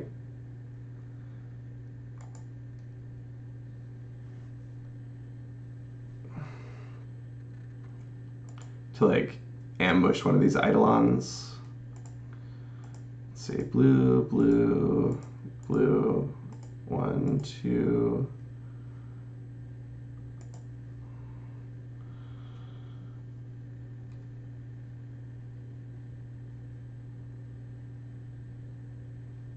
Thopter Foundry.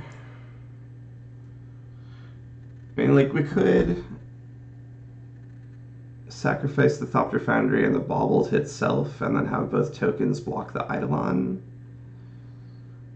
It's like a little extreme.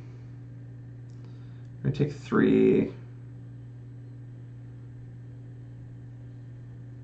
I guess we can just take three. Sure, we'll just take three. I want to keep the Thopter Foundry around, like getting a sword here is, I think, the best path out.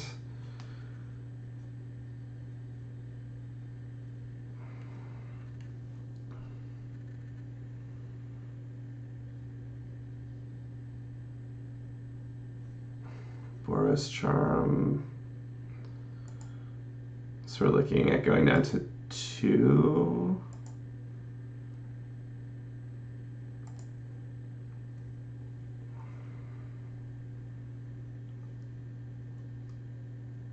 Sure.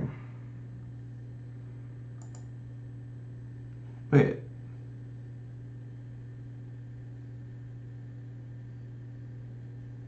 Oh, I didn't block. I'm sorry, guys. I, uh... Man. Yeah, yeah, I forgot to block. I thought we were blocking.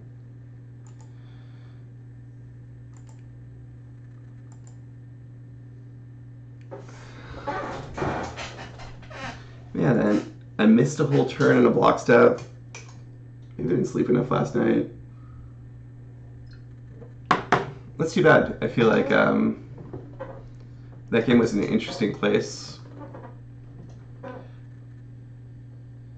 think maybe we actually did want to sacrifice like the Foundry and the Bauble to kill one of the Eidolons. We're taking like a lot of pressure off of us. Yeah, I can play Moto. Still, like, um, I was really interested in the way that game was going. Like, they had a lot of cards stranded in hand.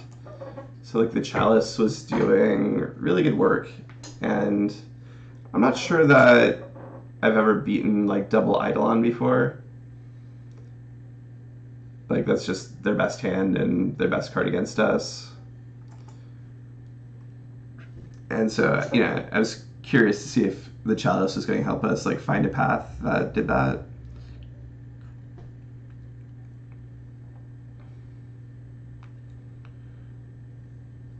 Um,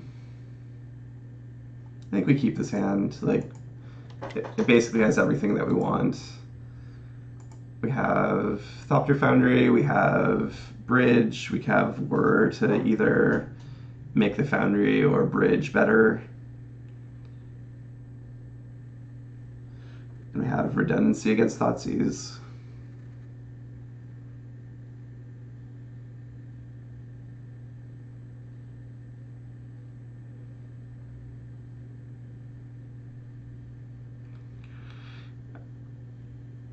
Yeah, I think. So, them taking the bridge is interesting. It tells me that they probably have something like Assassin's Trophy for this Thopter Foundry.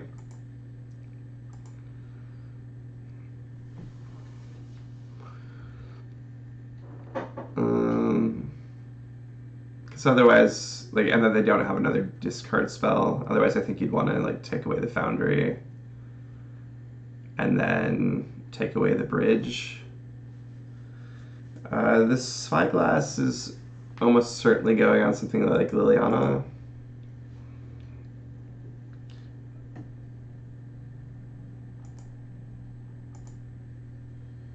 I guess, yeah. Oh wow, we just naturally drew a sword. Alright, I'll take it. Uh, we can't get KCI yet. So we're just going to cast the sword. And crack it. I guess if they have a Liliana, it's better to wait on cracking it. And we only have one activation anyway. Like, so sometimes they can respond to you breaking your sword by destroying your foundry. So if we want to activate this more than once for sure. Um,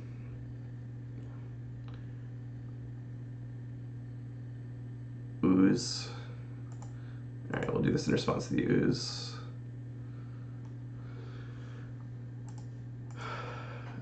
So because we have an active Thopter Sword and they have a Scavenging Ooze, this is one of the few cases where I'd prioritize spyglassing the Ooze.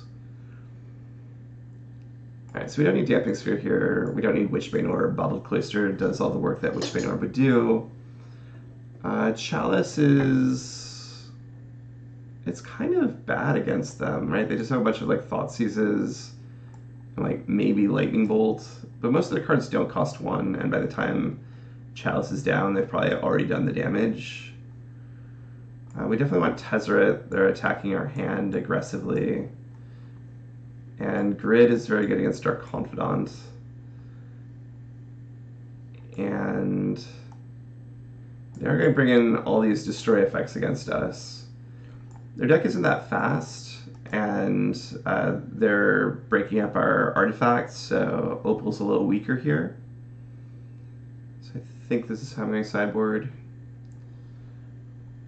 Uh, there's some argument for bringing in like Grafdigger's Cage against Ancient Grudge, but they don't usually have it, and if they do, they don't have that many copies of it.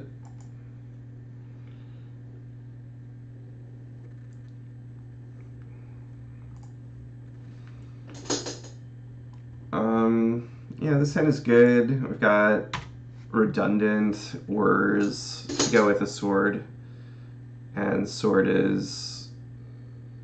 Uh, Thopter Sword is just a huge problem for them. Like, Lingering Souls is a very good card against Jund, and Thopter Sword is just kind of the best Lingering Souls ever. Interesting. Double Sword is nice. It lets you, if you have it in play, uh, be like very comfortable tapping out, even if they potentially have surgical extraction. Uh, I do want to get this like grid going on these Dark Confidants. I feel like the games that they win are games where they have Dark Confidant or Tireless Tracker and just kind of have so much card advantage that all of your welding jars aren't enough. Um, so we're gonna play the shores. I think I'm gonna play grid now before I can like potentially lose it. Right, because we can't go infinite with Thopter Sword, and we can't Whir for it this turn. It's kind of mana inefficient to cast something that's not a 3. So ideally what I want is to Whir for Thopter Foundry next turn, use the Thopter Foundry and a sword to kill the Confidant, kill one of the Confidants. And then once we have Thopter Sword plus Grid, every mana we spend gives us like a new Thopter and an untapped sword, so it's a full point of damage.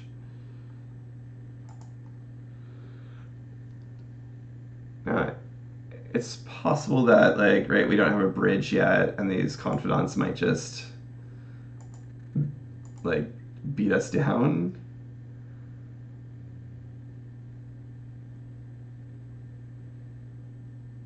Kolaghan's command. And they're getting spellbomb us. Fair. Tough but fair. So we have one, two, three.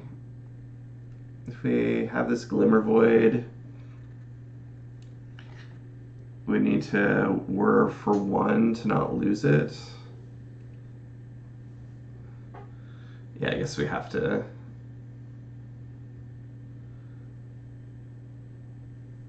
Oh. Yeah, okay. Um, we have a Darkslick Shores, so we can whir for zero. And next turn we could whir for two.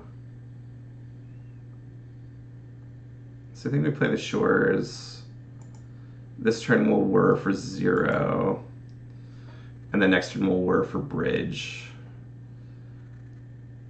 Um, I don't, yeah, it's not a great plan, but it does get us like welding jar plus bridge, and then we have the grids up.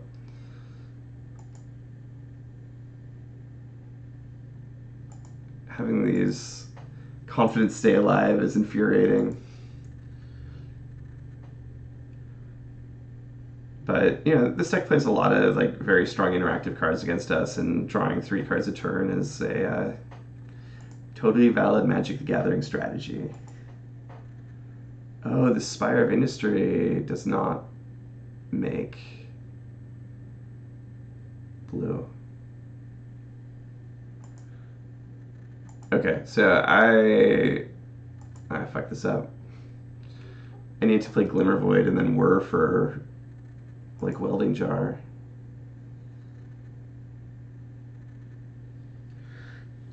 So we could work for two now.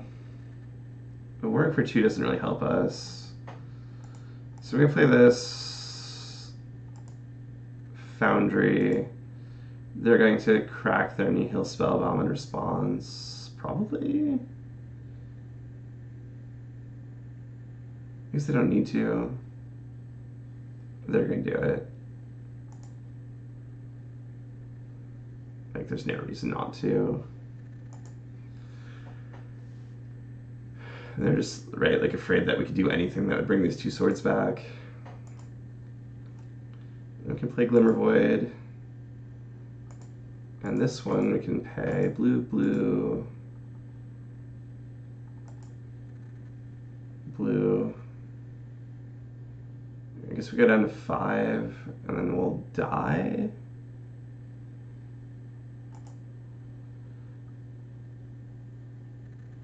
I mean, what is our out here? Use the foundry to do what? Like, to make a Thopter? Uh, so improvise isn't like um, the Selesnya mechanic. It um, you can only pay the colorless cost with improvise. So I think our only chance is that these Dark Confidants deal like seven to our opponent, and we can grid them for the last point of damage. Okay.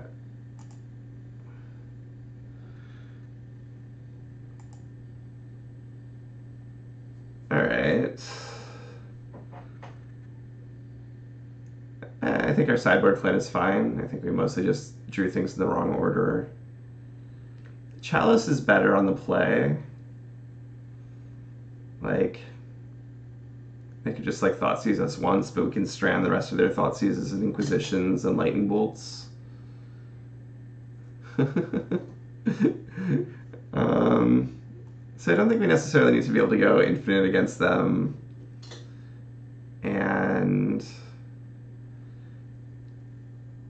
we don't need all the spyglasses. The spyglass is good. We can bring in just like two chalices. Like if we draw one, great. If we don't, that's fine. Maybe just play one chalice. Play one chalice. I think the spyglasses are so good against their slimes and Lilianas.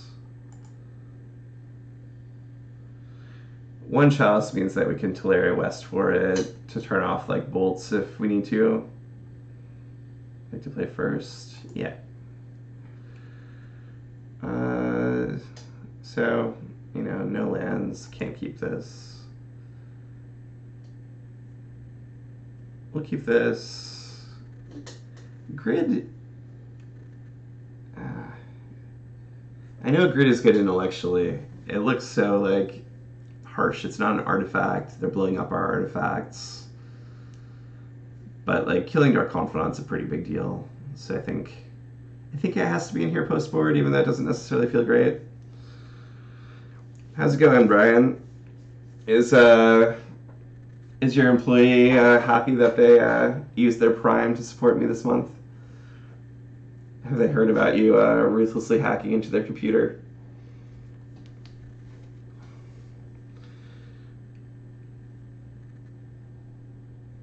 Yeah, if we could use, um, man, if Thopter Foundry made colored mana for Whir, that'd just be outrageously great.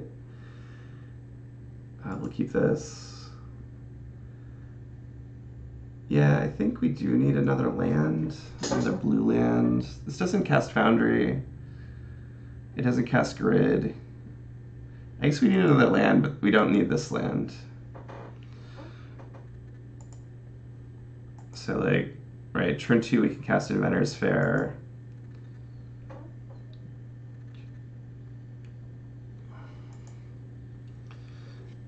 But we need more need more gas, we need more colors.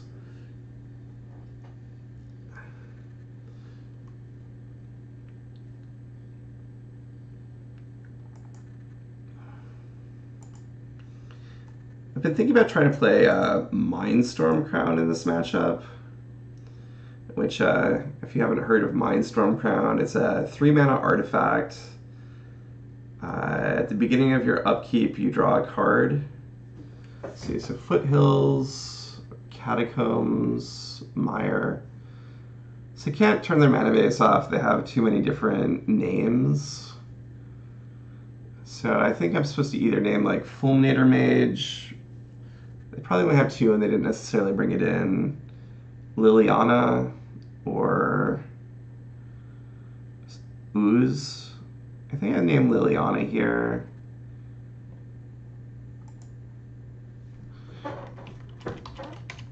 Like, we don't really have much going on. We don't have the lands we need to cast all of our spells. And so, like, her plus winning us would be pretty savage. Uh, Ooze doesn't really hurt us right now. Like, we don't have anything in our graveyard we care about.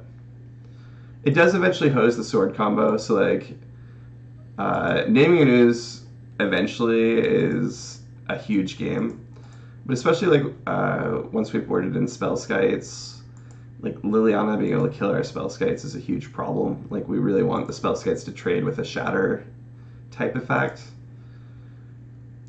And so uh, I think sometimes you name ooze first, particularly when you have like Thopter Sword available. Uh, they don't have a lightning bolt right now that we know about.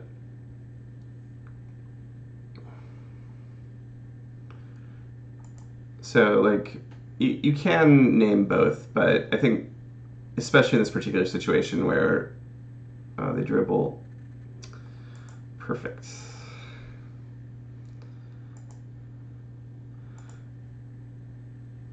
Um,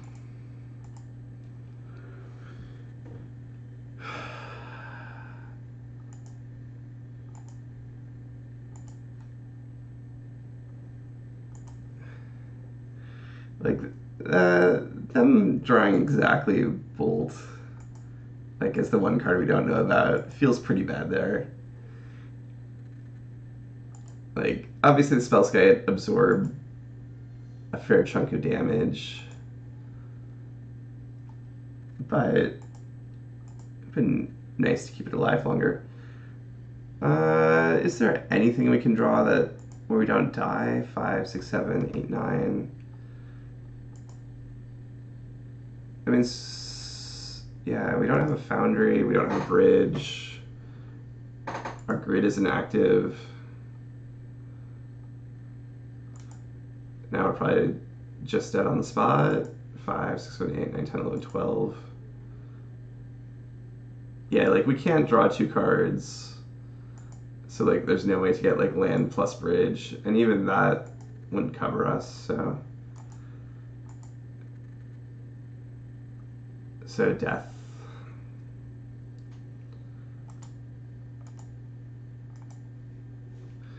Um, yeah, here, not having like faithless looting to manipulate our hand feels like it really, really hurts.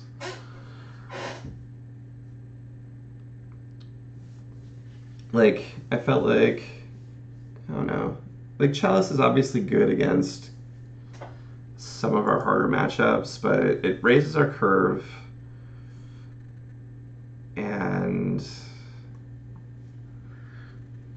it, just doesn't do enough.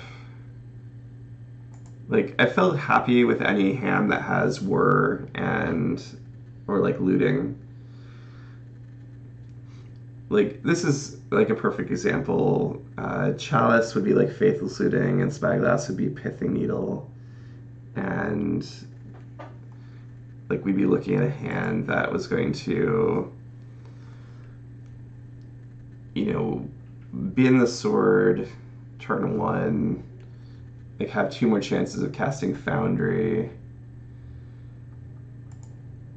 and then like you know, could either Whir for Foundry on turn three, or if we found a Foundry naturally, just kind of go infinite with KCI.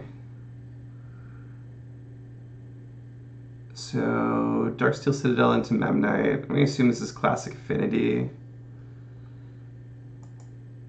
And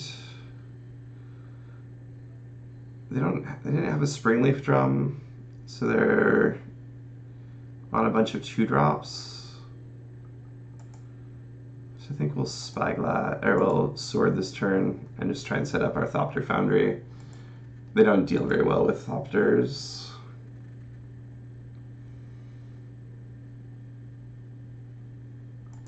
Okay.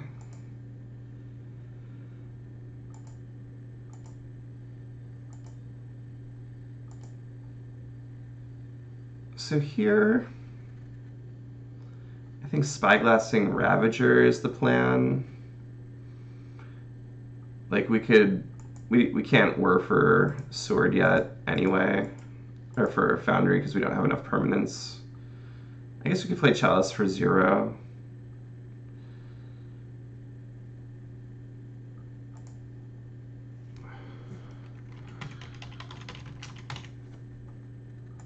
But this should be fine. Like, they probably wanted to activate their Ravager in response to in response to what we just did.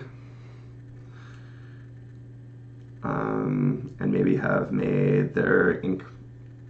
I guess they would have had to transfer to Memnite. Yeah, I guess they don't have really great choices there. So pests are interesting because they can attack under bridge.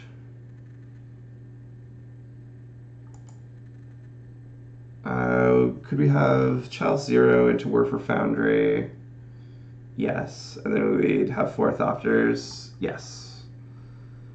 We could have definitely done that. And that possibly would be better than this line since we would have had enough blockers for all their attackers. Yep, yeah, I think maybe the Chalice for Zero line is better there.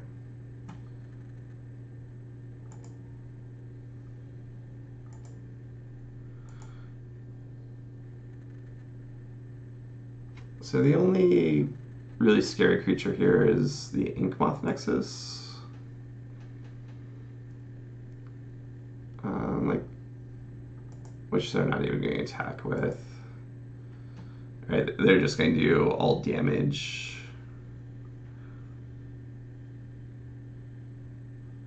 All these guys will trigger.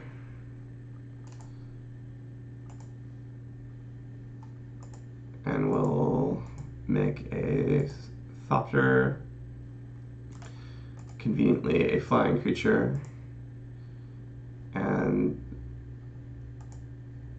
I don't think they left their Galvanic Blast out. And we'll just kill... I guess this guy represents... We'll just block the most damage right now, even though the pests represent more ability to add damage in the future, because we're able to make all these Thopters. Uh, do we care about two Galvanic Blasts? Probably.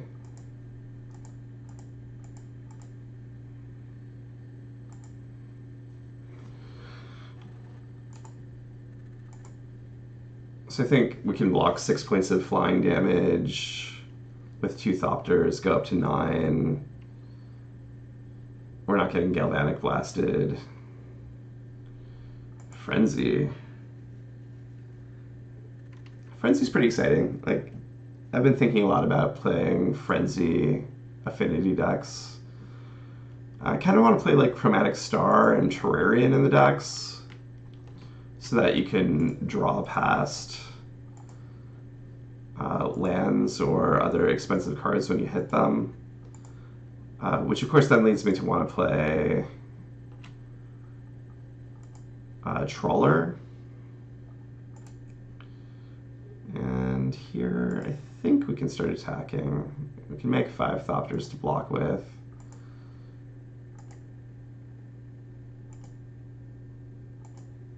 Like, I mostly want to focus on defense because I think we're just in a position where as long as we don't lose, we'll win. Like, because they can't burn us out, like, they just have to go incredibly wide, and as long as we don't waste any of our creatures, I think they shouldn't, even with experimental frenzy, I don't think they can outwide us.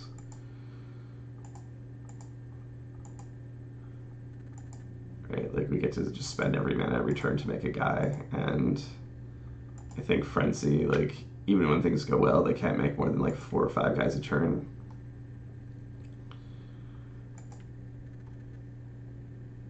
Uh, so they have like three, four, four attackers. So I think we just get to attack with all these. Like our life total's going up, so even if they got through with a couple, it wouldn't be a big deal. They don't have anything like Steel Overseer to make their Ornithopters and Nexuses eat us. You know, I think short of like them playing something like Distortion Strike, I have trouble imagining how they can get through our board. Alright, that's a cute trick with the Nexus.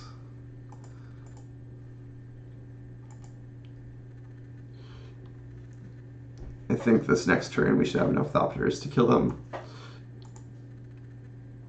Which is good because the Steel Overseer would have made things more difficult.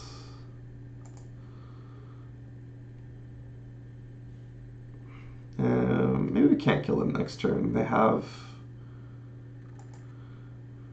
two blockers.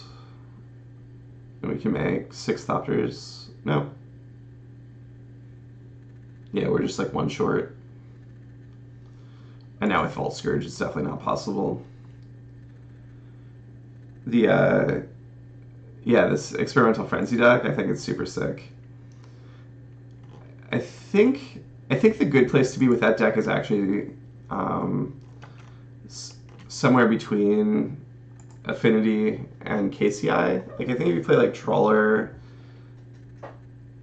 and if you play like Trawler in it, you can start recurring your chromatic stars and stuff and like because frogmite and Myr Enforcer cost a lot uh, do some like pretty exciting chains with arcbound ravager.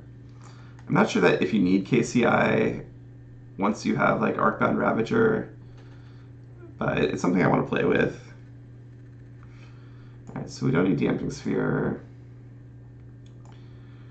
They do target us with um, galvanic blast, so Witchbane Orb isn't crazy, that's not amazing. We don't really need to go infinite with the Ironworks, though it's a fine option.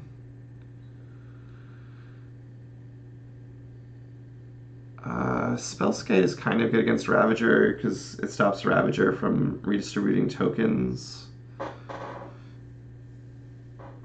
Let's see.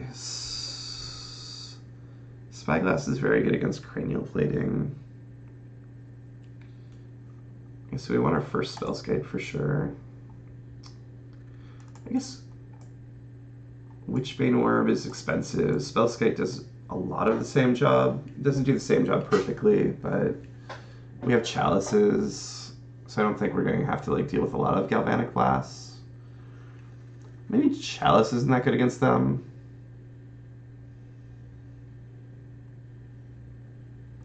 Like, yeah, maybe Chalice isn't good. So we can like bring in our Spellskites. Uh, bring our oh damping sphere. I guess if they're trying to like chain a bunch of spells off of frenzy is actually kind of good. And we'll just keep in the Witchbane Orb so we can't get burnt out. Grid is pretty reasonable against them, though. Hmm.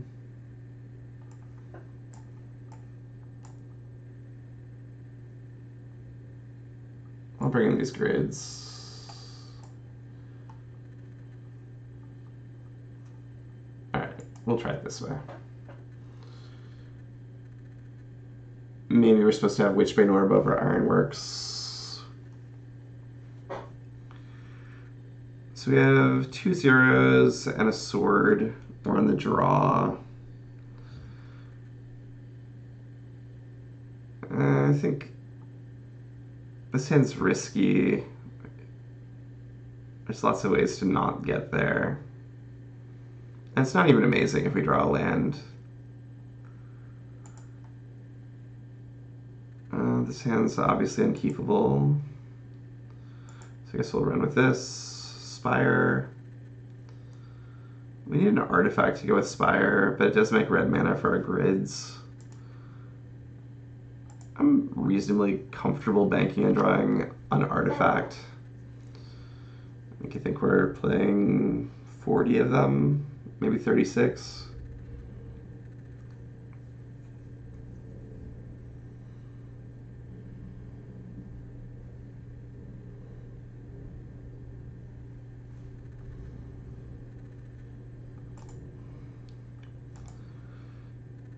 Thirty-two. Thanks, Tug. I guess, oh, I mean, right, Whirs aren't artifacts. That's fair. that is a big Memnite.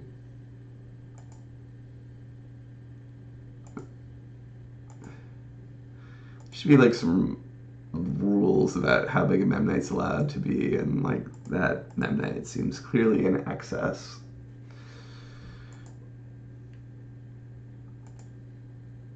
Um, so next turn we can play Spire, unless we draw another zero. Actually, even with another zero, we still can't bridge. So I think they're just, wow. Just gonna present us with a turn three kill. Hmm. Good, good, good.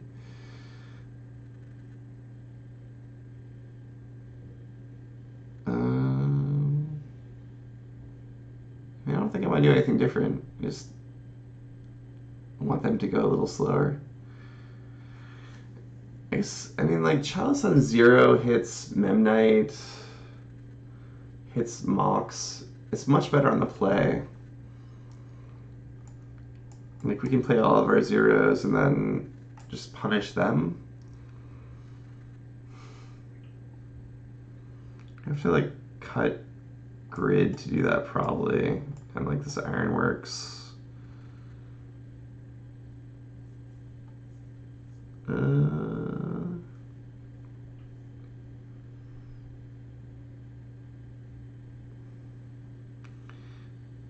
we might not need bottle cloister, but I don't want to cut bottled cloister. They do have a lot of zeros.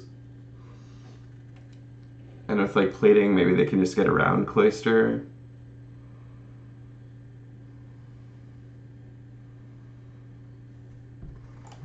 Just supposed to get lower to the ground.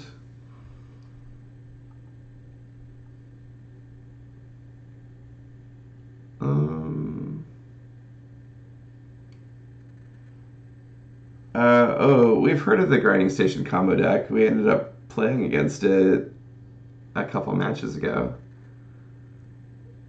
It seems pretty sweet. Alright, we'll try this.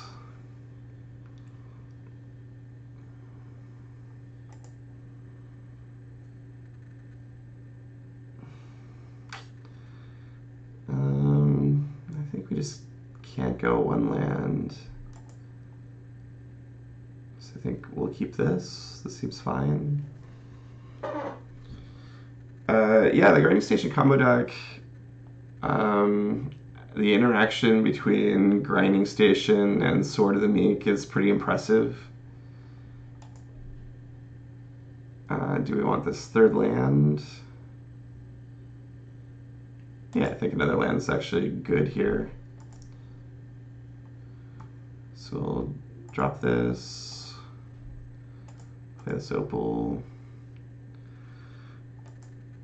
Um, having like so many ways to combo is pretty interesting. It can make it hard to shut down all those angles. But, uh, right, you need to like, yeah, grinding station looting together is, is definitely a thing. Alright, so we will blue, black,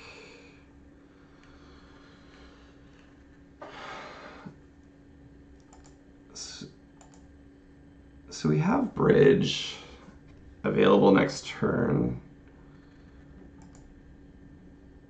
I guess that makes their overseer much worse.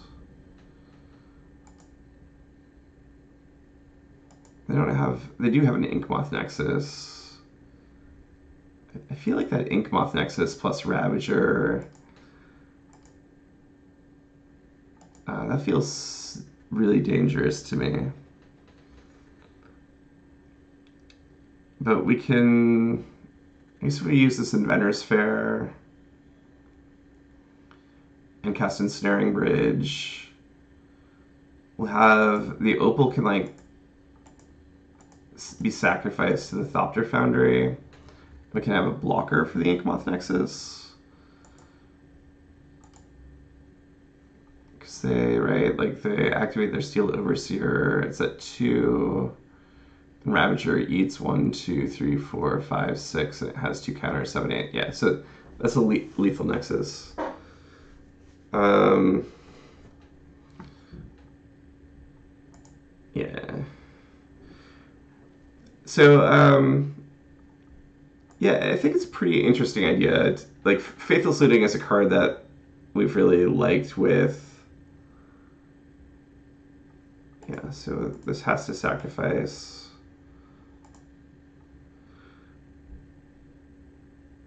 And of course, they have the line of play of just activating the Steel Overseer so that their Inkmoth doesn't die and dealing a bunch of vanilla damage to us. But if all their guys get big, then our Ensnaring Bridge is suddenly way better. Like, now only their Ornithopter should be able to attack next turn.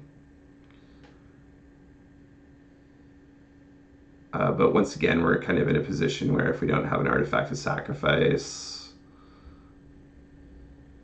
ooh, rest in peace. Very timely rest in peace. Um,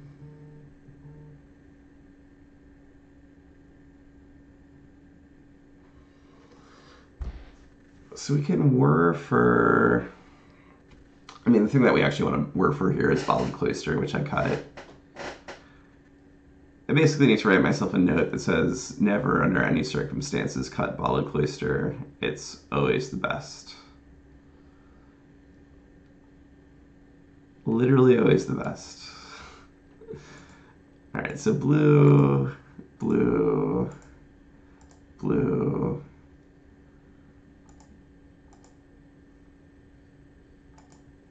I guess we don't have enough permanents to get Bottled Cloister here, but still. Um,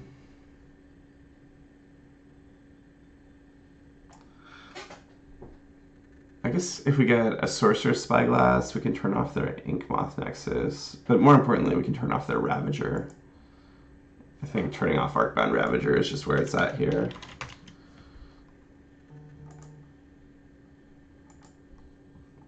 now they don't have the ability to like move a bunch of their tokens.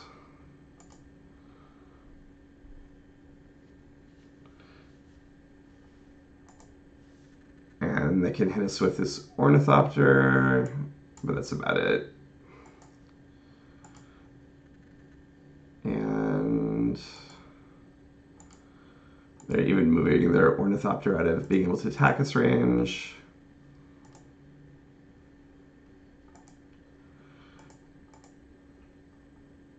And at this point, uh, I mean, at this point, we can just kill them by decking. In theory, they could burn us to death. And I guess they could draw a zero, so they have like some some ways to win here. Uh, I think we have grid and post board, so I guess we don't need to worry about decking them. We can just eventually grid them out.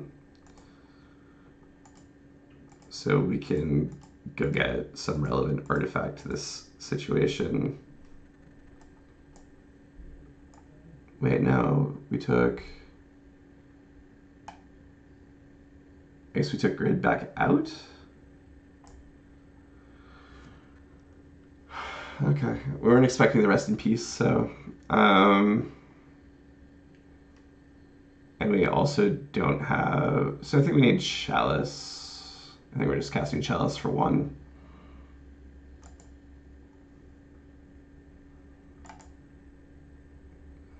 Now we're no longer decking them.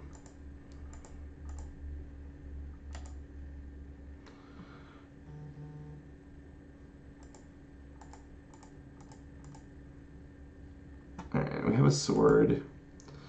Uh, the reality is this welding jar is not super useful to us. Man, all their guys are big. So our game plan at this point is fundamentally that we have to assemble flyers that are big enough to attack them. They're 20. They have Steel Overseer and Vault Skirge. They have their own grid. Amazing. Uh, one, two, three. This person is killing us in the sideboard department. Like, we're getting absolutely crushed at sideboarding here. Uh, Ancient Grudge. It's possible. Um,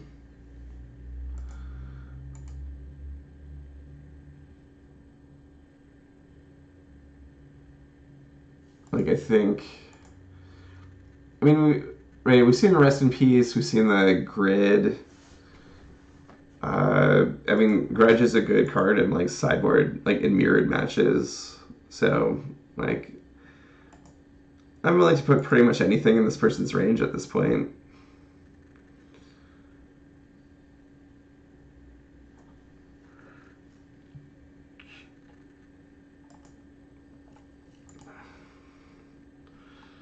Um, Double welding jar, so we should crack this bauble.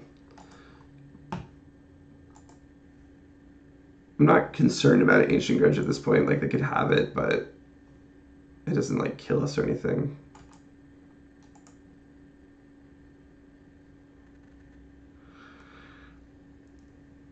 So we got a Spyglass. Spyglass is going to stop them from killing us with their grid. We might have to sacrifice something to the Thopter Foundry.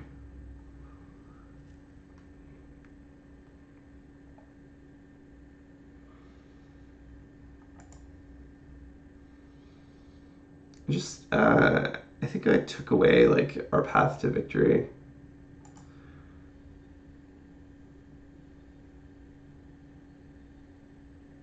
Like they'd have to cast frenzy and like play some cards.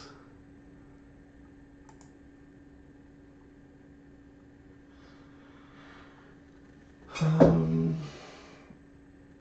how useful is Sword of the Meek?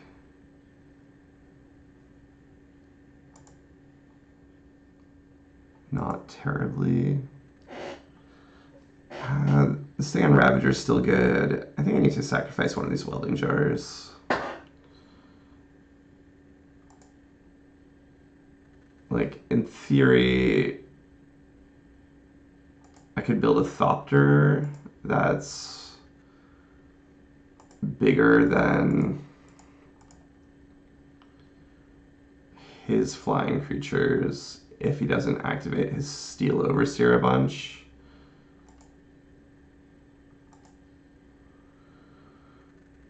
And he hasn't really been activating it since he can't attack. I'm also worried about like walking ballista here.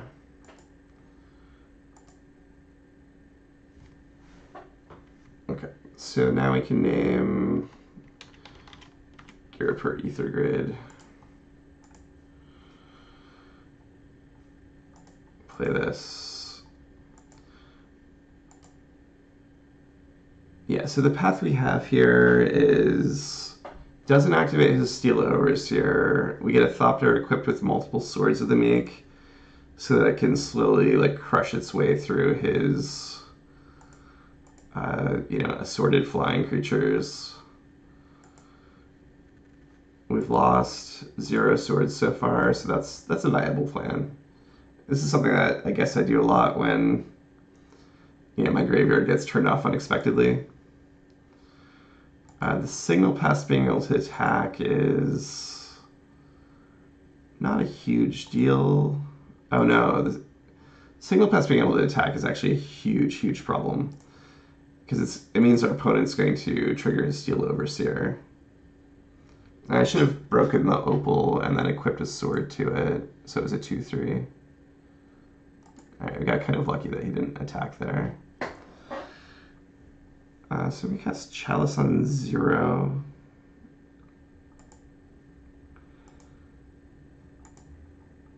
And then sacrifice it to turn it into a Thopter. I'll sacrifice the opal and I'll just leave this chalice hanging out for a while. Since our opponent also has zeros. Alright, they have a grudge.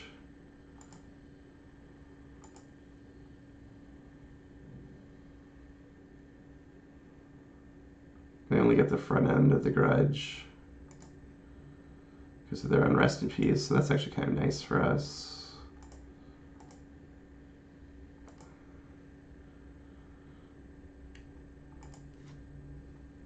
And then we'll equip the Thopter. So now if they attack with their signal pest, it's just going to its own death, so they're not likely to attack with it and then activate the Overseer. Thopter Engineer. Okay, not a big deal. It is another flying creature.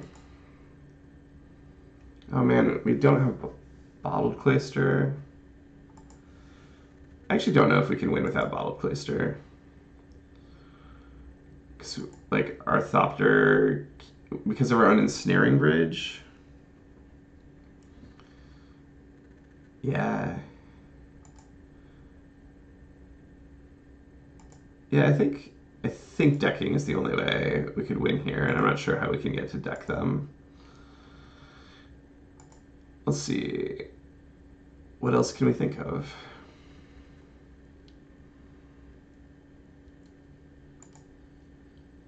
Don't have Tezzeret. We don't have Unmoored Ego. Tezzeret would let us burn them out. Yeah, I mean, if we had a grinding station, we'd be set. They'd probably have been already milled to death by now. Uh, They have double black. Yeah, Shredder would kill them. Like any any alternate win condition that wasn't grid could kill them. But we would have actually, I mean, if we had one, it would have been grid, so we would have shut off our own grids at this point. It, I think it just comes down to bottled cloister. If we had bottled cloister,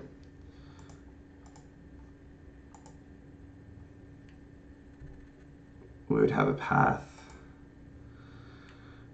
So I wonder, like, we can, we have, we have like four bridges. I wonder if what we actually need to do is set this up so that we can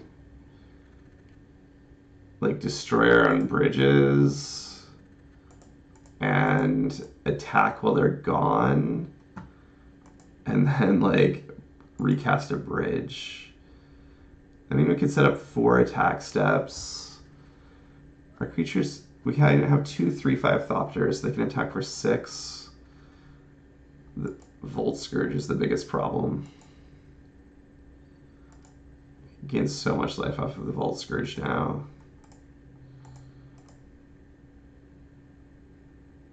Hmm.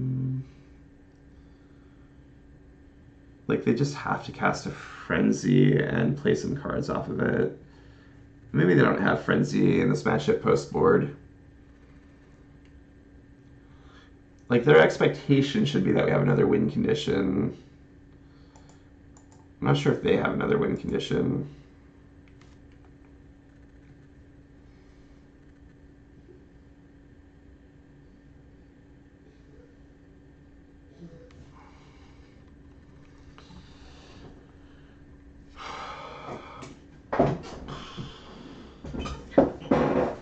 This is one thing I liked about playing the Shredder version.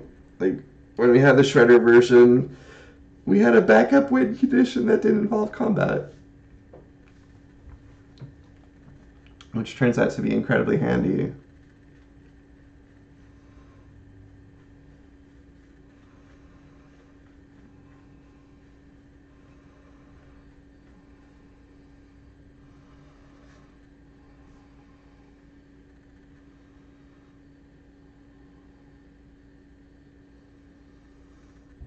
So they're thinking, maybe they have Frenzy and they're thinking about whether or not they want to use it, or they're trying to figure out if they have a path to winning.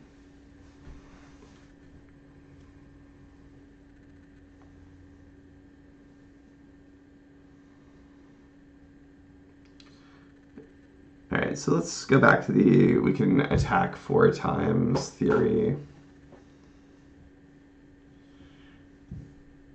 Like, we have to attack with things with three power, otherwise the Vault Skirge just gets to eat a random thing.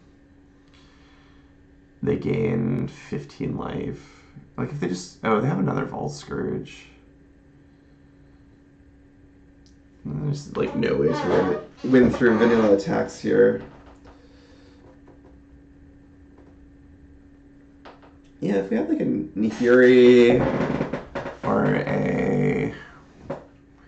Emrakul or Tezzeret, we'd be fine.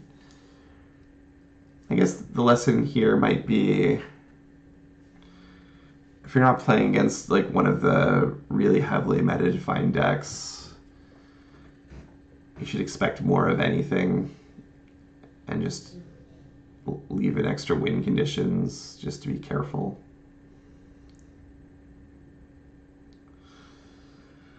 Uh, I think we'll we'll just scoop this game and go to the next one. I think. I don't think we have a path to winning, and with our opponent just sitting here, it's not that interesting to keep trying. Um. Hmm.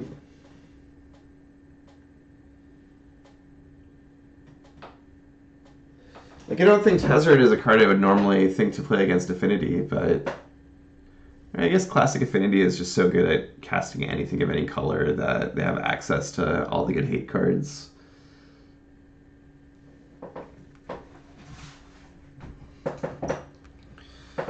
So uh, I hate Karma. Looking at your Teferi's grinding deck. Memnite, Ornithopter, Scrap Trawler, Sly Requisitioner, which this guy combos has a lot of combos. Were grinding station. Yeah, this is exactly what we played against. it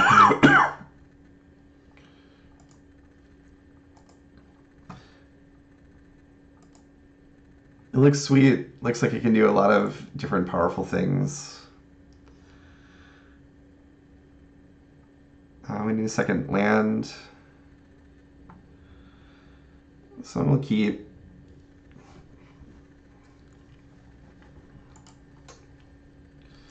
And we probably need a third mana source, so especially when that makes black. That'll help us either get to Thopter Foundry uh, or Whir. So probably we'll get to cast one one drop.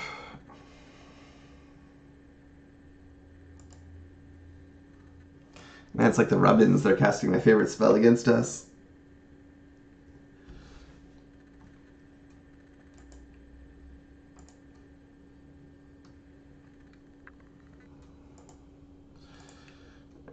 And they, they are going to try and cast a lot of one CMC spells, so casting Chalice against them is great, just great. Um, we have two permanents, so we can definitely sacrifice our first Mishra's Bauble. It's not going to hurt any of our whirring.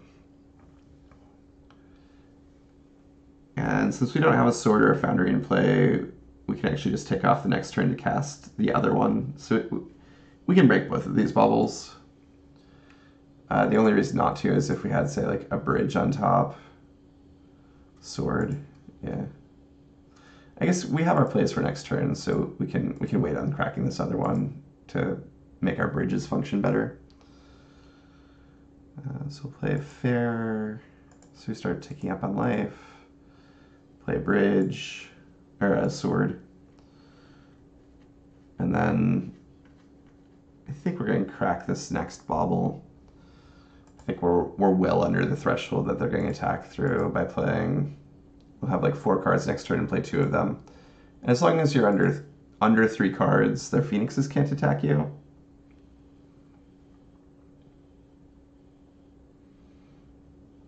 Sweet. So we got the Thopter Foundry naturally.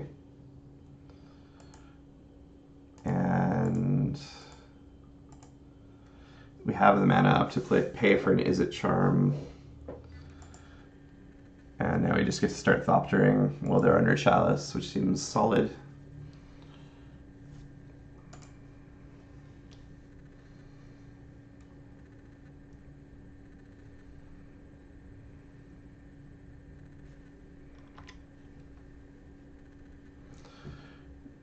And we're kind of just like a nightmare matchup for them. Um, they're going to bring in destroy effects and these spyglasses basically do nothing here. So we'll bring in a bunch of spellskites. Uh, they play like surgical extraction, but that's usually pretty easy to play around. Um, they don't really have enough burn that we need the Witchbane Orb or the Ironworks. And so I think that we can either play Grid or Tezzeret. as like alternate win conditions.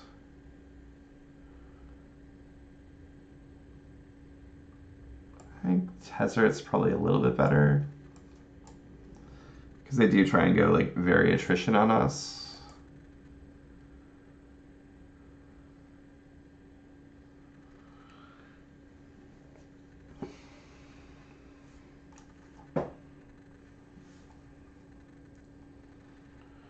So we'll Let's see. We have Chalice and a jar to protect it and Spellskite. I think this is going to slow them down considerably. Yeah, we have Tezzeret to like make more lock pieces. I assume we'll probably draw you know two mana sources by the time it's turn three or four.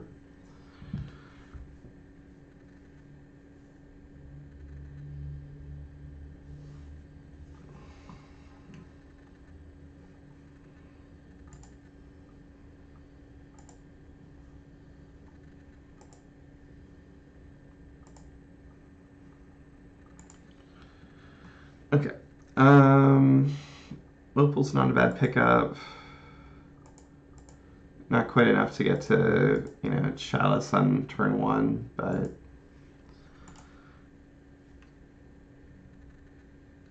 You know, it is going to be one of these mana sources to casting Tezzeret.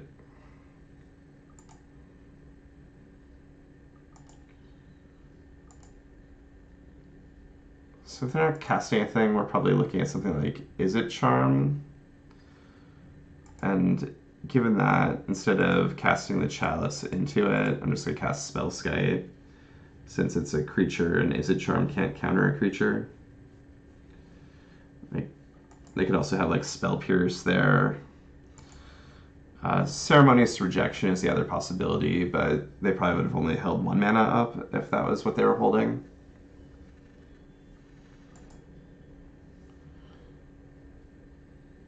So yeah, I think maybe they have a, a counter heavy hand here. Uh, the Tolaria West, I don't think we're ready to transmute it. Uh, you know, we're we're kind of restricted on what we're casting by our mana right now. So I like getting another mana source in play.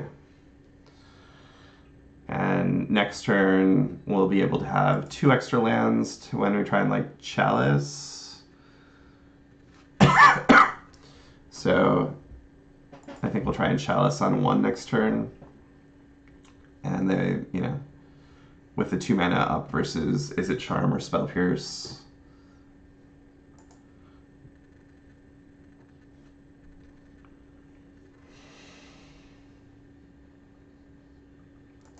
So Thing in the Ice, our Spellskites are horrors, so they won't be bounced when Thing in the Ice flips. And they're, they're holding up red blue again. I think, pretty hard confirmation of Izzet Charm. I guess, I mean, we could cast Chalice on two. Uh, but they have so many ones, and then they could just counter it, so. Alright, silly idea, not worth pursuing.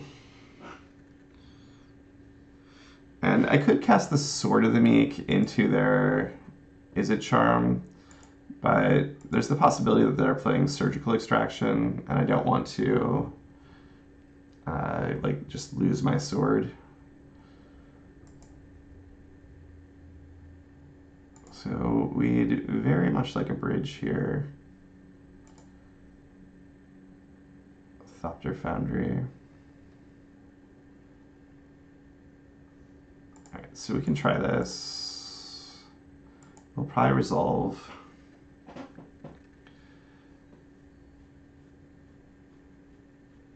Like, unless they have like Pierce and Izzet Charm at this point.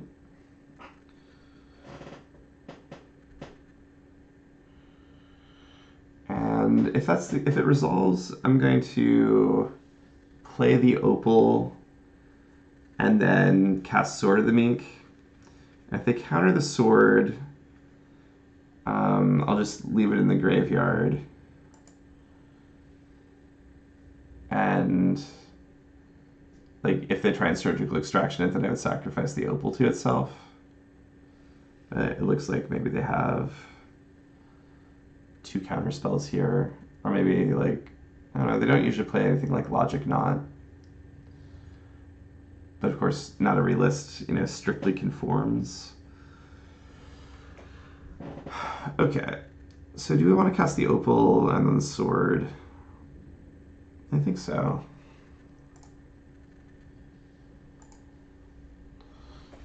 Uh, I guess we don't care about Spell Pierce because of the Chalice.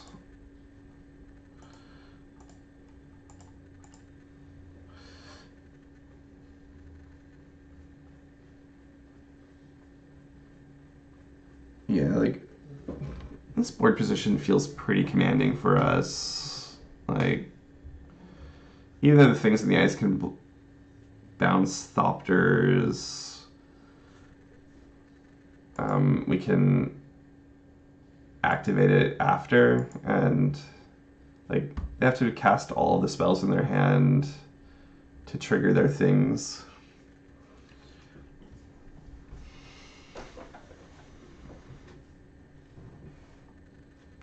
I mean, sure, I guess some of their spells are like two spells. Uh, we can chump block a thing with like a spell Spellskite and then regenerate with a Welding Jar.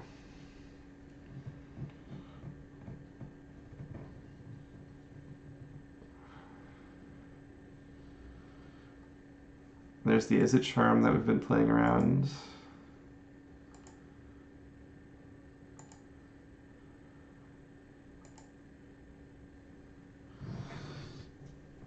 So this should be able to construct kind of like the perfect hand here.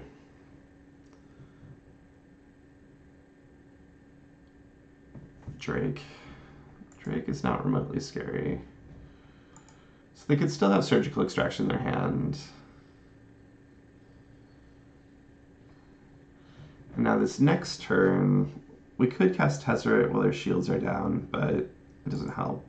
We would just make a bunch of Thopters.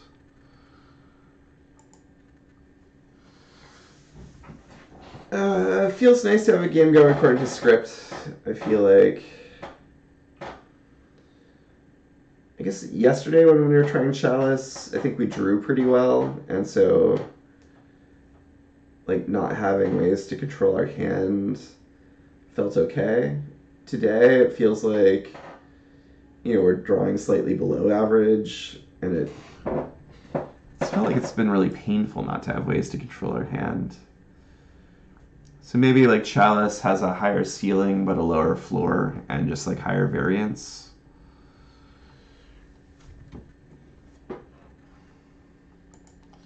At this point, I'd want to see specifically whether like Chalice changed the KCI matchup, which is currently like very bad without Chalice. And if it changed it, I'd think about it. I think if it doesn't change the KCI matchup, though, it might just be out. You agree you didn't miss looting much yesterday, but have wanted it several times today. Yeah, like it just felt like yesterday. We, I don't know how many times I said we're very lucky, but I think it was like over five. I think I've only said it once today. And like right, like I know every every card counts with the snaring bridge against. Well, I guess we're playing against humans right now, so we'll have a, a little proof of concept.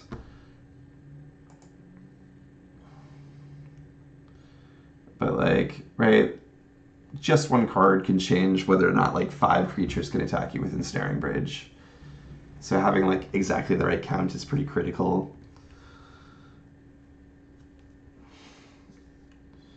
But this is like this is one of the very hard things about tuning a deck that's good, right? Like you win often and it's really hard to necessarily figure out like why you're winning or losing in any given situation.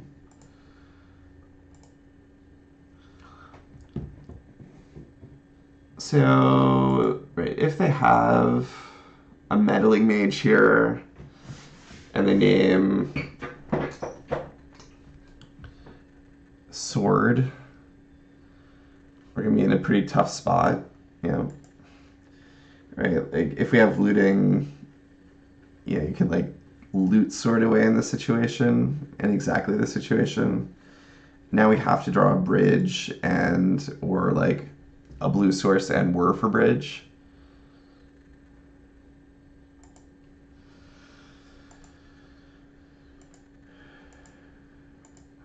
Yeah. Alright, Bauble. And Bauble's going to help us dig deeper. It can also be sacrificed to buy us time. Double Mantis Rider. Okay, I think we just name Horizon Canopy here. It probably doesn't matter, but that's like a way they might draw cards if somehow this game goes long. This deck is quite tricky to pilot, especially against more tight matchups, which makes tuning even more difficult. Yeah, that's true. Right, like if you're not already good at piloting the deck, like it's hard to know what's like pilot error versus play error. I mean, I guess pilot error and play error are the same, but like versus like deck building error. Second meddling mage. So now they name bridge or whir, and we're just down to like a few outs. Yeah, bridge seems like the right call since we're showing an Inventors Fair. Oh, but they have made. I guess we only have one mana open. I was gonna say, I think they've made a grave error, but I don't think we can. We can't kill either of these guys. So do we take seven? I think we just take seven.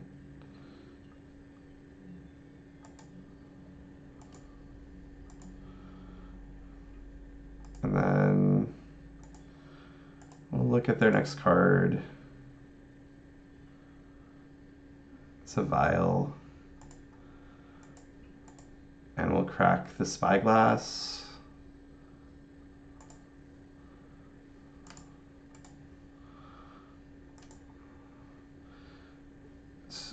So they actually, there's not that much they can attack us with. See, this is why pack mainboard Pyrite Spell Bombs. That's legit. Like, but if I had Faithless Looting, I wouldn't need a mainboard Pyrite Spell Bomb. But uh, I'm not. I'm not against Pyrite Spell Bomb. I think it's a pretty sweet card. Uh, do we have any twos left that we care about? I guess doing this for two doesn't really stop anything important. A lot of their things are twos. They're just going to get a vial, though, so the vial is going to stop us from being relevant. But we can sack it as soon as it's inconvenient. Sure, let's do this. Oh, no, no. Uh, terrible. What I was supposed to do is leave the mana up so they couldn't attack with any of their, like, meddling mages or freebooters. Instead, I've let them attack again for two, three, four, five, six, seven, eight. Yeah, I have made a tragic error. I was just probably supposed to like chalice for zero. And then they can only attack with the champion and the Mantis Rider.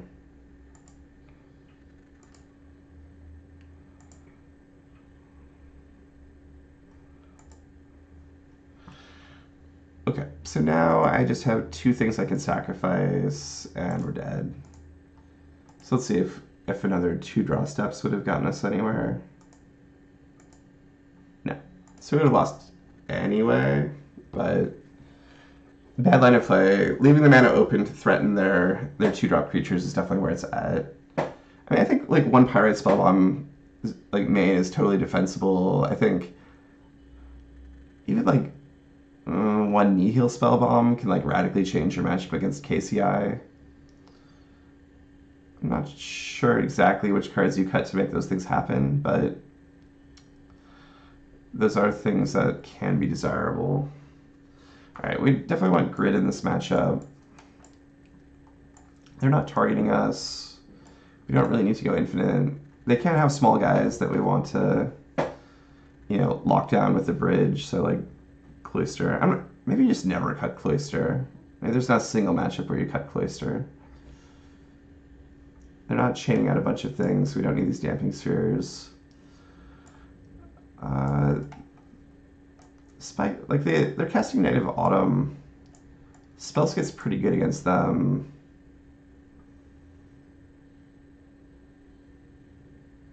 Like it can just block guys early. Torpor Orb hurts quite a few of their creatures, and we can just sack it if it's a problem for us.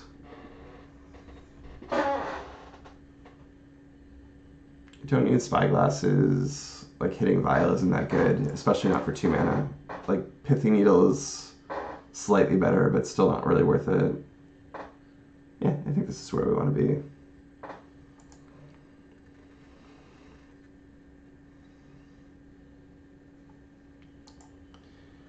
So we'll battle here. We have an early bridge. We have a double bridge, so even if they have a way to destroy it, I think, I think we this is a pretty easy keep. Um, we need this mana from the Tolaria West, so I'm just going to play a tap now. Obviously, like, Meddling Mage and Ensnaring Bridge will be a total blowout here. So we can hope that doesn't happen. Uh, I'll play both of these welding jars because if they cast Thalia, they'll get trapped in my hand.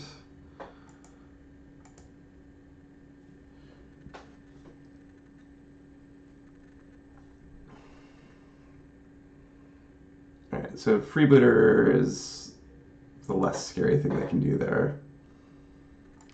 It makes sense. I think they usually lead on freebooter if they have freebooter and meddling mage so that their meddling mage can target correctly.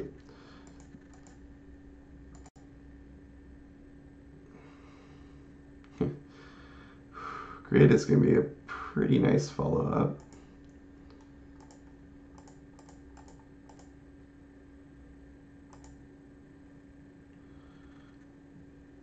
Like, almost so nice that I'd want to lead on grid, but um, we don't have the fourth artifact to kill the meddling mage. Like, if they play Kataki here... Is this like Sin Eater? Sure.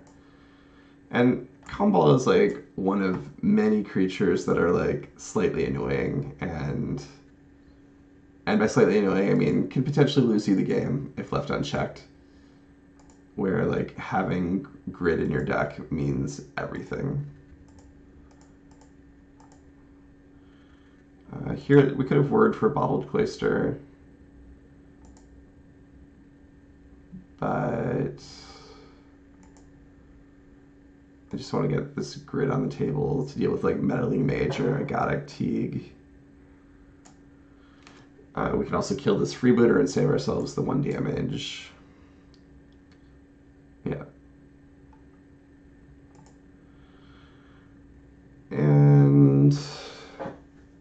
Even seeing the Kambal doesn't change our plans any. We're still happy with this configuration.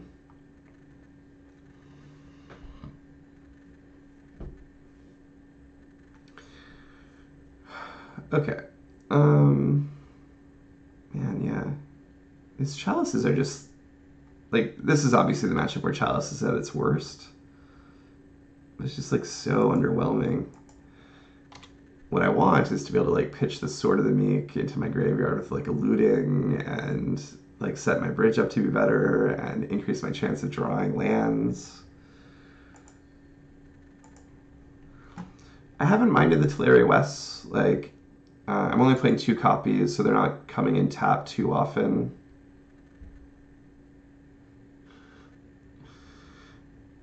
Talk when you say it sounds familiar. Um, you're saying like I said that last match or last game, or uh, are you saying like that's a way that you sometimes feel? Um, I think we're just supposed to chalice for zero for one mana. Like, we shut off our own zeros. Yuck. Yeah, this seems just like super bad. I don't think we should do it.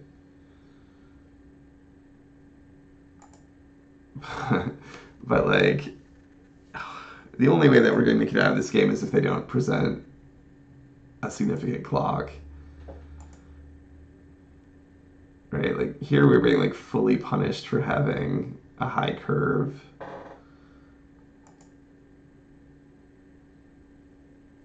I mean, this like freebooter is just helping us. I don't care what they take.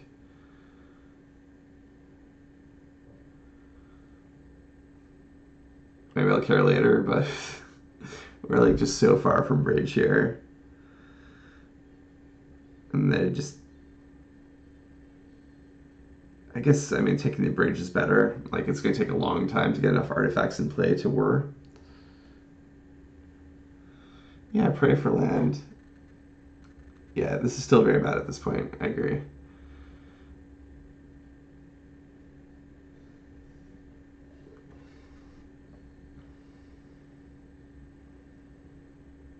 They took Torpor Orb. That's like unimaginably surprising. Like that means that they have to be sitting on a bunch of like Thalia's lieutenants or something. Yeah, Meddling Mage on Sword of the Meek is pretty good there.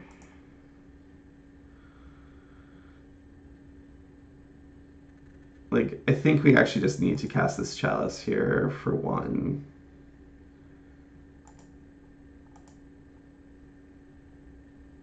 Like, I know it hurts our own cards. But I think to have like any chance of whirring for a bridge or for bottled cloister, it, it just has to be in play. Really? Why? Why would you take Torpor Orb there? Like, I feel like Bridge is the card that like you can't really beat. Unless they just know they have a Knight of Autumn, so they don't care. It does shut off a lot of their deck. They've probably got like a Knight of Autumn in hand, and so they know like even if I cast this bridge, yeah, free looters, sure. Well, there's a Thalia's Lieutenant, and yeah, this is what I was expecting. That like they just are massively increasing their clock with a couple Thalia's Lieutenants.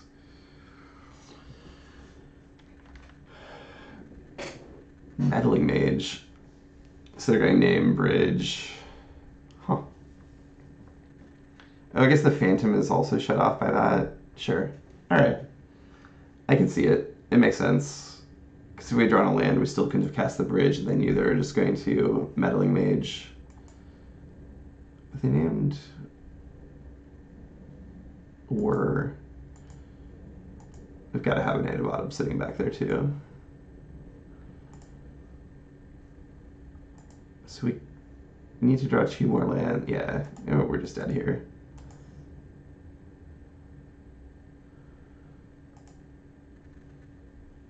Yeah, brutal.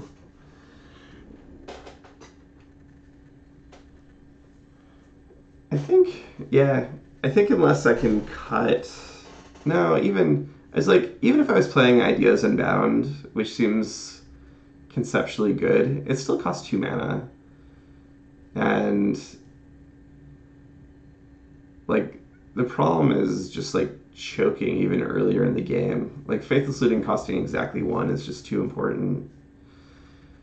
And getting the kind of like pseudo card advantage or mana advantage from like looting away swords is a big deal.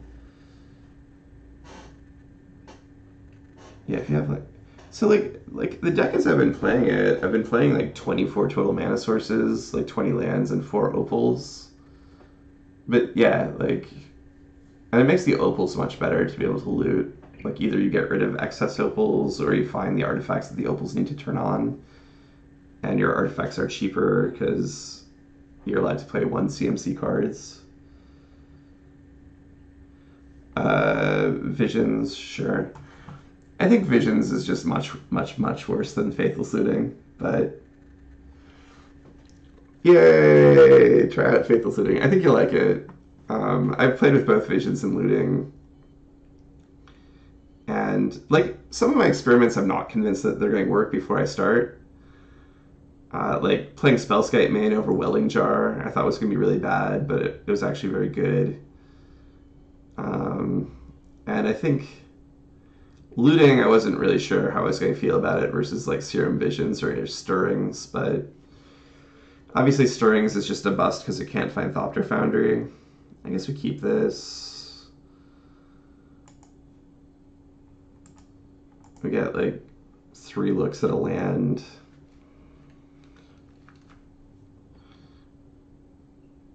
Okay, this is and this is another hand where like the chalice would be a faithless looting. Not to harp on it too hard. I don't mean to beat this dead horse.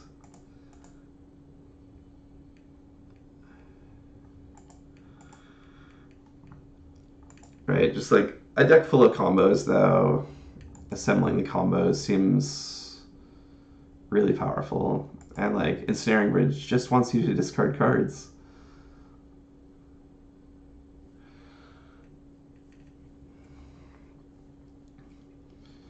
Looks like we have some kind of mono red build. I guess tech. Oh, this could be like a prison deck. This actually looks remarkably like a prison deck. Like some some deck with like Nahiri in it. There's a reasonable chance that Chalice and one doesn't actually do anything against them think we're still supposed to cast it.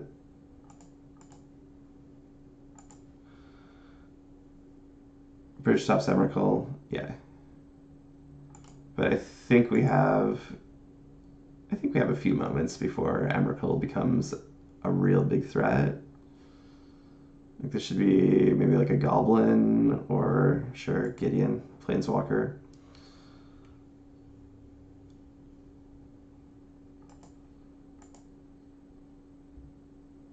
Chalice is on top for us. Let's see. Whirring. I think we're happy whirring for two. Lightning Helix for them. So I think cracking both of those baubles is fine. Like we're just looking for the, the right interactive tools against their deck.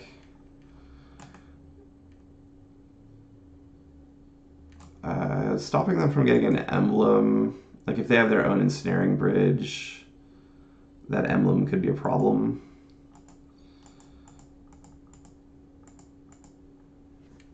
Like, right, because if, if they have a bridge, they can stop our Thopter Foundries. I guess they're going deck first now. No, we're going deck first. So yeah, if they're if they're able to like assemble this Gideon token plus a bridge before we can kill their Gideon,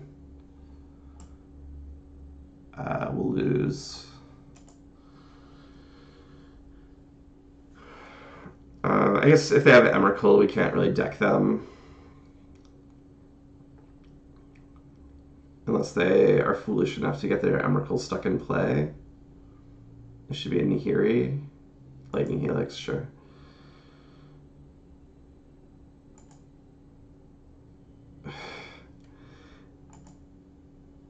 So if we can Spyglass this Gideon, that's actually a high priority for me. I don't want to show them the sword yet. It's not like a big deal. We're just being mana efficient at this point. But, uh... Right, they might just think that, yeah, okay, they've got it. So now we need to just get out infinite-ish Thopters. A moment too late on the Spyglass.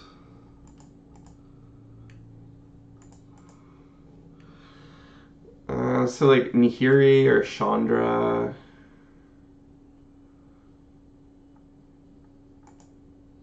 I'm gonna choose Chandra. I think they play more copies of Chandra.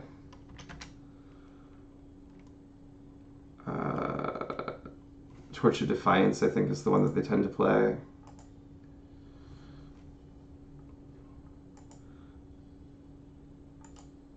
I mean, I think they play both Nahiri and Chandra. Um, both of them make mana, both of them draw them cards. For Nahiri and two Chandra. Um, sure. I, I think this isn't an established enough archetype that it, they're just going to play the same, like, always play the same numbers. So we transmute this and get an Inventor's Fair. So we did it. We transmuted Tolaria West. And we actually, like, really care about what we're getting this in this case.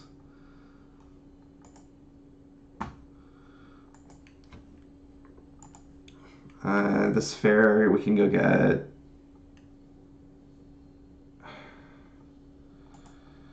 It's probably going to end up being another spyglass for like assemble the legion. Sure. Like the fact that they haven't played an ensnaring bridge is a little weird.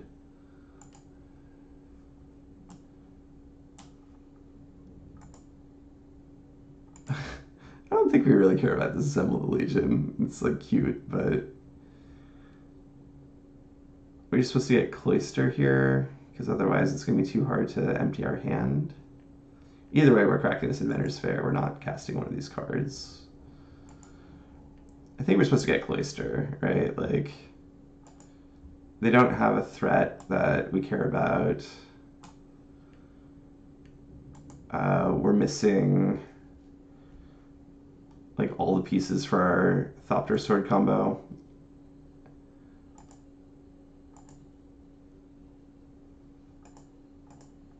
And I mean we have the sword, but we're like we really need the KCI part to just I think go off on them.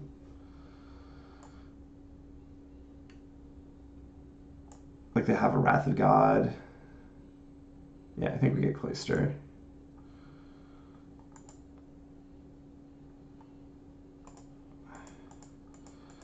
So we can Spyglass Nahiri next turn if that's if that's what this is coming down to.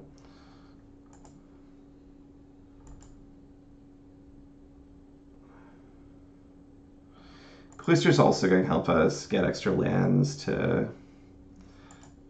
get all this stuff into play.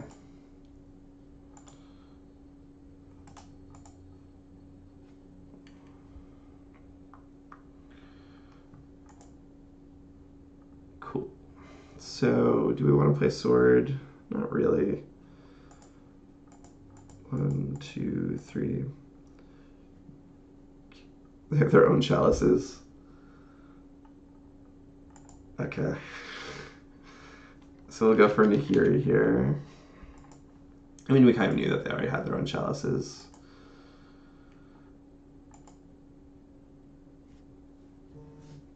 Uh, right, and they also have, they probably have, yeah, nothing that costs one themselves, so our chalice is just kind of a silly card.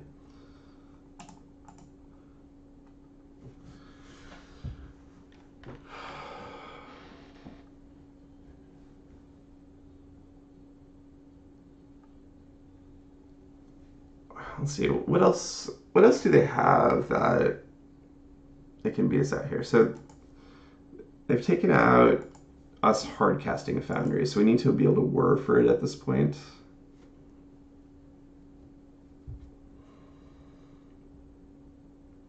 Um, oh man a moment too late. Two three four five I guess at this point we should just get a sword in the graveyard.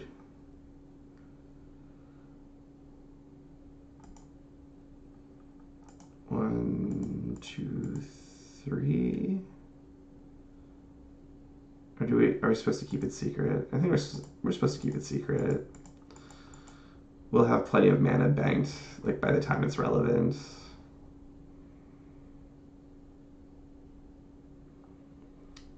Like we don't want them to see that they've you know hurt us in any way. And want to give the appearance that we could be like many different types of decks.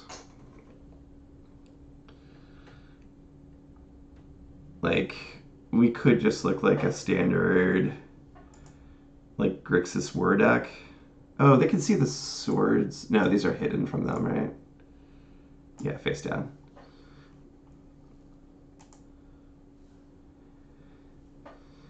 Right, if we look like a standard Grixis prison deck, they're probably worried about us like ghost quartering them out.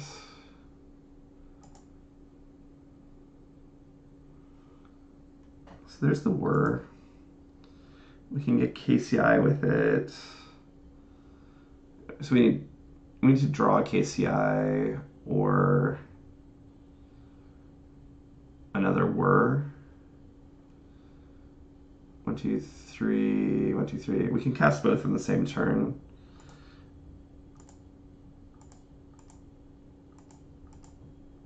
So we'll cast another chalice. How do we even cast chalice under these circumstances? Why can't we just... Okay, we can cast it for one. That's weird. Yeah. Oh, I see. Then the Trinisphere makes us Got it. You're such a weird card, Trinisphere. Oh, they cast a Chalice too, sure. That's fine, whatever. I thought we paid three mana for it, so it was going to resolve.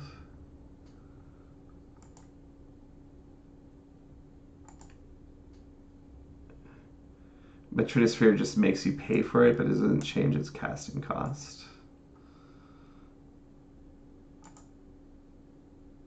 Seems fine. If you whir for Foundry, it's le- you're less likely to draw it. That's true.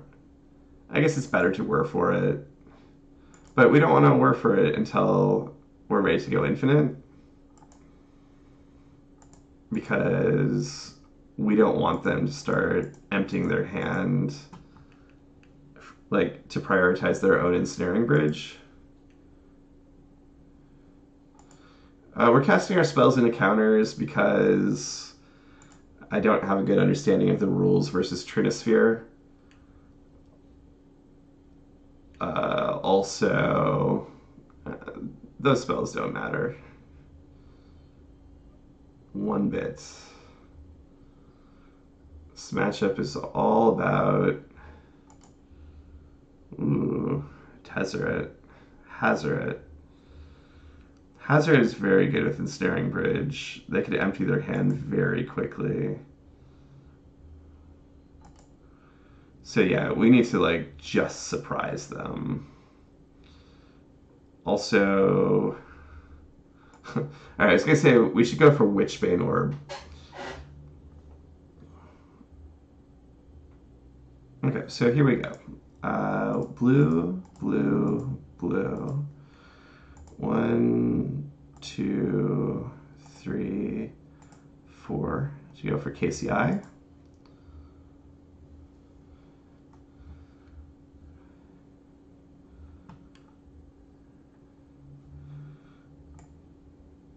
So there's our ironworks. And then blue, blue, blue. One, two.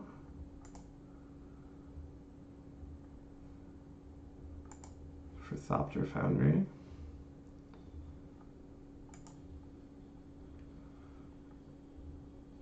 And then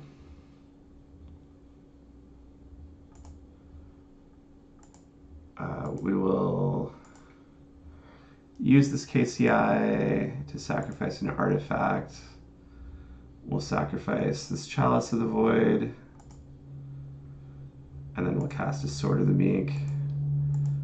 It'll get countered. That's fine.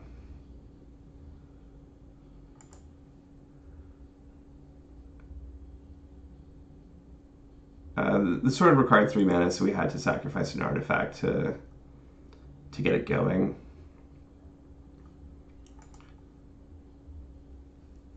So they're going to try very hard to get their hand empty for ensnaring bridge. Uh, they should be able to do it. 3 3, they're going to draw a card.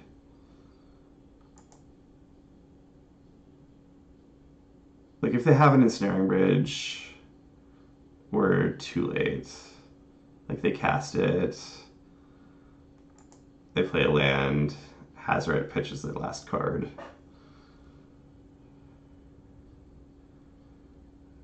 So it's just like, do they have it yet or not?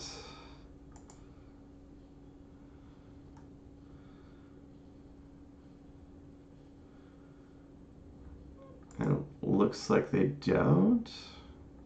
Sweet. So we have come up with a crafty plan.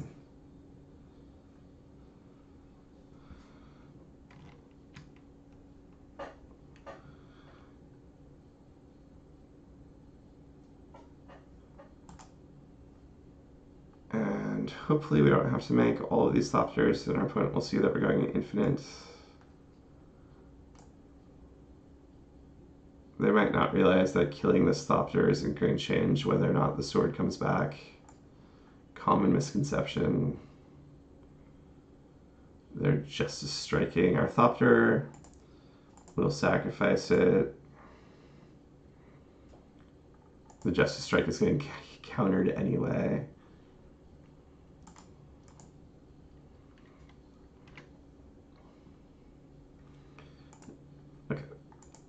So here we go.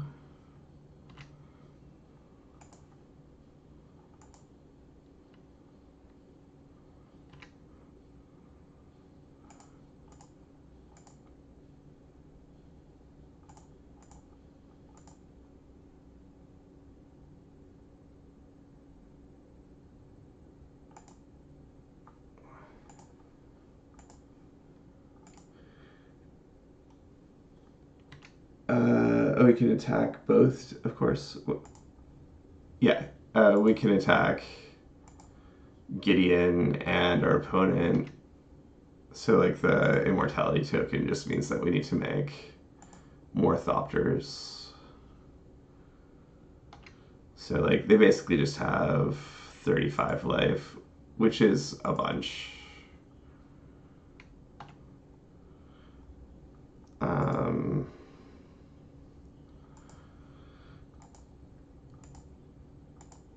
like we'll probably have to spend about five minutes making Thopters. Unless our opponent, who also plays a prison deck, appreciates just how annoying it is when people don't concede, so they have common human decency and scoop. Okay. Uh, Chalice is probably a blank here. We want our additional win conditions. Uh, we want Unmoored Ego to like rip apart their their own prison plans. They probably play like Wear Tear post board. We don't need Damping Sphere. Spyglass is pretty good. Um, Witchbane Orb. There's like ultimates that can target us. These Thopters are not very likely to get through again, to be honest.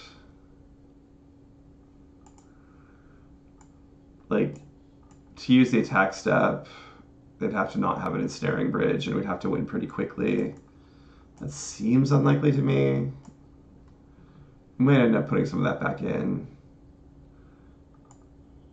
I think we want these Spellskites for like wear tears. Cage stops Emrakul. Reasonable. Spyglass also stops Emrakul. I don't think they're doing anything else from their graveyard. I think I think Revoker and Spyglass are just the better way to fight Emrakul. Yeah. 59. Um, Revoker will die. Uh, I mean, they'll probably take out their bolts, but that's fair. So I'll leave in one sword and one Thopter Foundry, just because they can do some cool things with Aether Grid.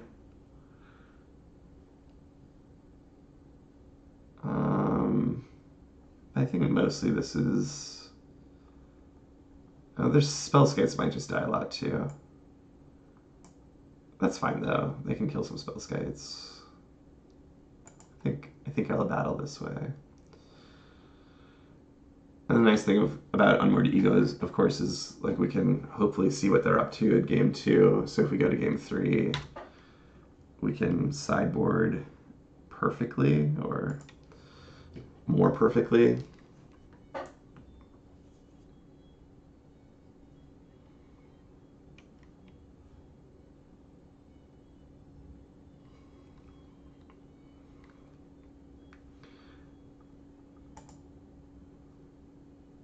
Another thing I'm noticing while sideboarding is without the lootings, I feel like I often have a, a few extra slots that are like suboptimal. And so I think like the lootings made every match a little more well-rounded. Whereas like with Chalice, all right, there's the rest in peace. So good thing we moved off that Thopter plan. I don't think we want to crack the bauble yet. Spyglass. I do like the information from the spyglasses. Uh, shows us nothing. Uh, I think Gideon of the Trials is really weak compared to the other planeswalkers. But um, I want to make sure that we're still able to win. And since I don't see any of the other planeswalkers there yet, Nahiri is the scariest. I mean, Nahiri does some awesome stuff and she can make Emrakul. But like Ensnaring Bridge deals with the Emrakul.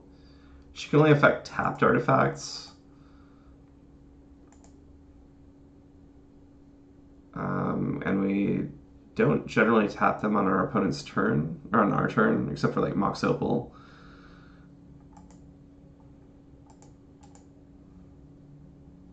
Oh, Trinisphere is going to make this uh, welding jar considerably more expensive than usual. I do want to. I mean, we didn't see a wear tear. If we cloister here and they blow it up, we're really far behind. Oh, I guess we can't even cast it because of the Trinisphere. So I'll just cast it here for three, and we'll just cast the Bottled Cloister next turn. Then we'll start drawing two cards a turn, which will make us lose the decking race, but we're probably losing the decking race already.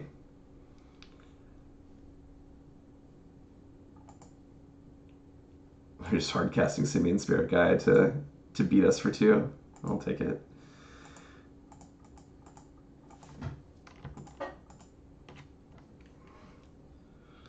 I should not have used the opal. Just we are just talking about Nahiri only hitting tap, tapped artifacts. Guess I guess if they destroy Mana Source and cost Nahiri several turns, I don't feel too bad.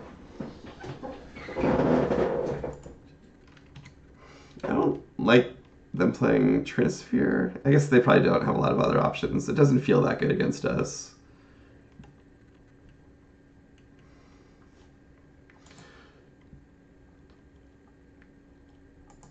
So the rested pieces aren't that scary. The stony silences are definitely worse. like if I had an unmoored ego relatively soon, I could see that being the right card to name.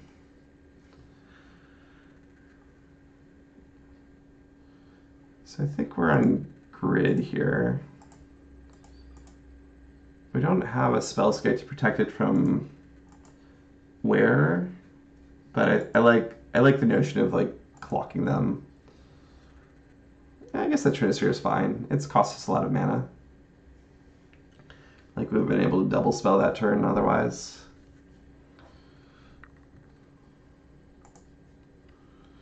So I'm going to take the two, because um, I don't want any of my artifacts exiled by Nahiri.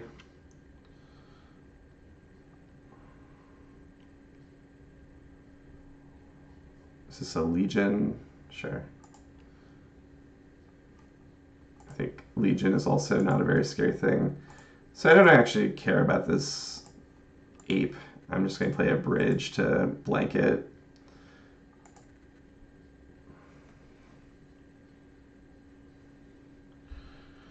Uh, they're totally out of cards.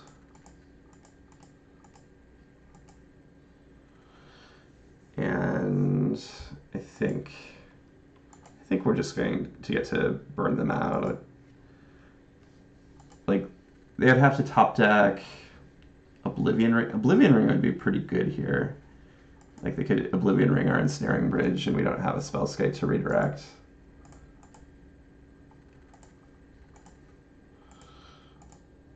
Uh, I think Oblivion Ring is in like the range of what they play. Okay, so we won yeah, I guess that ends the uh, the Chalice of the Void experiment. I have to say, you know, when I first started playing with Chalice of the Void, like when I first picked up the Grixis Whir control deck, right? My opinion was it was very good in some matchups and like pretty mediocre in others. And by mediocre, I mean like almost a blank. Um, you know, it seemed like it might be necessary to play against Tron but we found Unmoored Ego, and Unmoored Ego gives us an answer to Tron. And so, like, the last matchup that I'm just trying to figure out is KCI. Uh, and I think, like, Chalice is probably, like, reasonable against KCI. But we still got, like, you know, I know it wasn't, like, a standard KCI deck, but we still got ripped up by a KCI deck. They are obviously not playing a bunch of eggs, so that, that's not a very good test. But I feel like the percentage we're losing across the field is just not worth what Chalice is giving us. Right? Like KCI is like, I don't know, 3 to 7% of the metagame tops. And I feel like having Chalice helps us against Tron, which is already, I think, a great matchup. And it helps us against Death Shadow, but I think it like maybe like gives us 10% in that matchup, maybe 15%. Um, but that's also like you know another five percent of the metagame, And I think we're probably losing like 5% against a ton of matches. So I think like Chalice is just a net negative. Also, I just, it makes, I feel less happy, right? Like playing Magic, I think your emotional state is important. And when I have looting, I feel like I have control over my destiny and my hands feel better. Or like Chalice, it just feels like I'm gambling. So uh, that's my opinion on Chalice. I think I think I'm going to phase it out and go in a different direction. Um, yeah. So I think I think that's that. Um, no stream tomorrow. I should be back on Thursday. Um, I'm not sure if I'm going to have another experiment like this, or I'm really interested in affinity frenzy decks, and maybe I'll have like an experimental like affinity frenzy build. So I'll I'll, I'll see. Uh, otherwise, I think that like that wraps up our stream for today, our laboratory, and I think we can look for someone else to raid.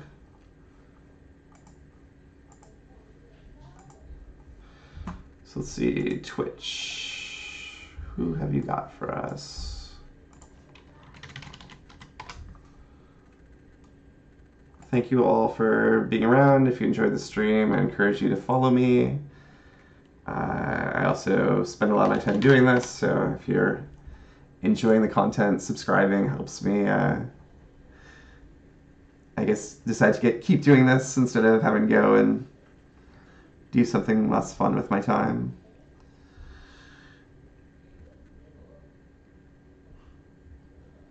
Nobody playing modern? I guess there's a like a standard uh, streamers challenge. So I think a lot of streamers are playing in the challenge right now. Goblins versus the World Legacy. Limited. Yeah. All right. Legacy got oh modern apps and enchantments. I'm in. Any kind of brew in modern seems awesome. So this is Mom's Basement streams. So we're gonna raid them. Raid Mom's Basement streams. um, I like enchantment control decks. I'm pretty excited to see what this guy's got going on.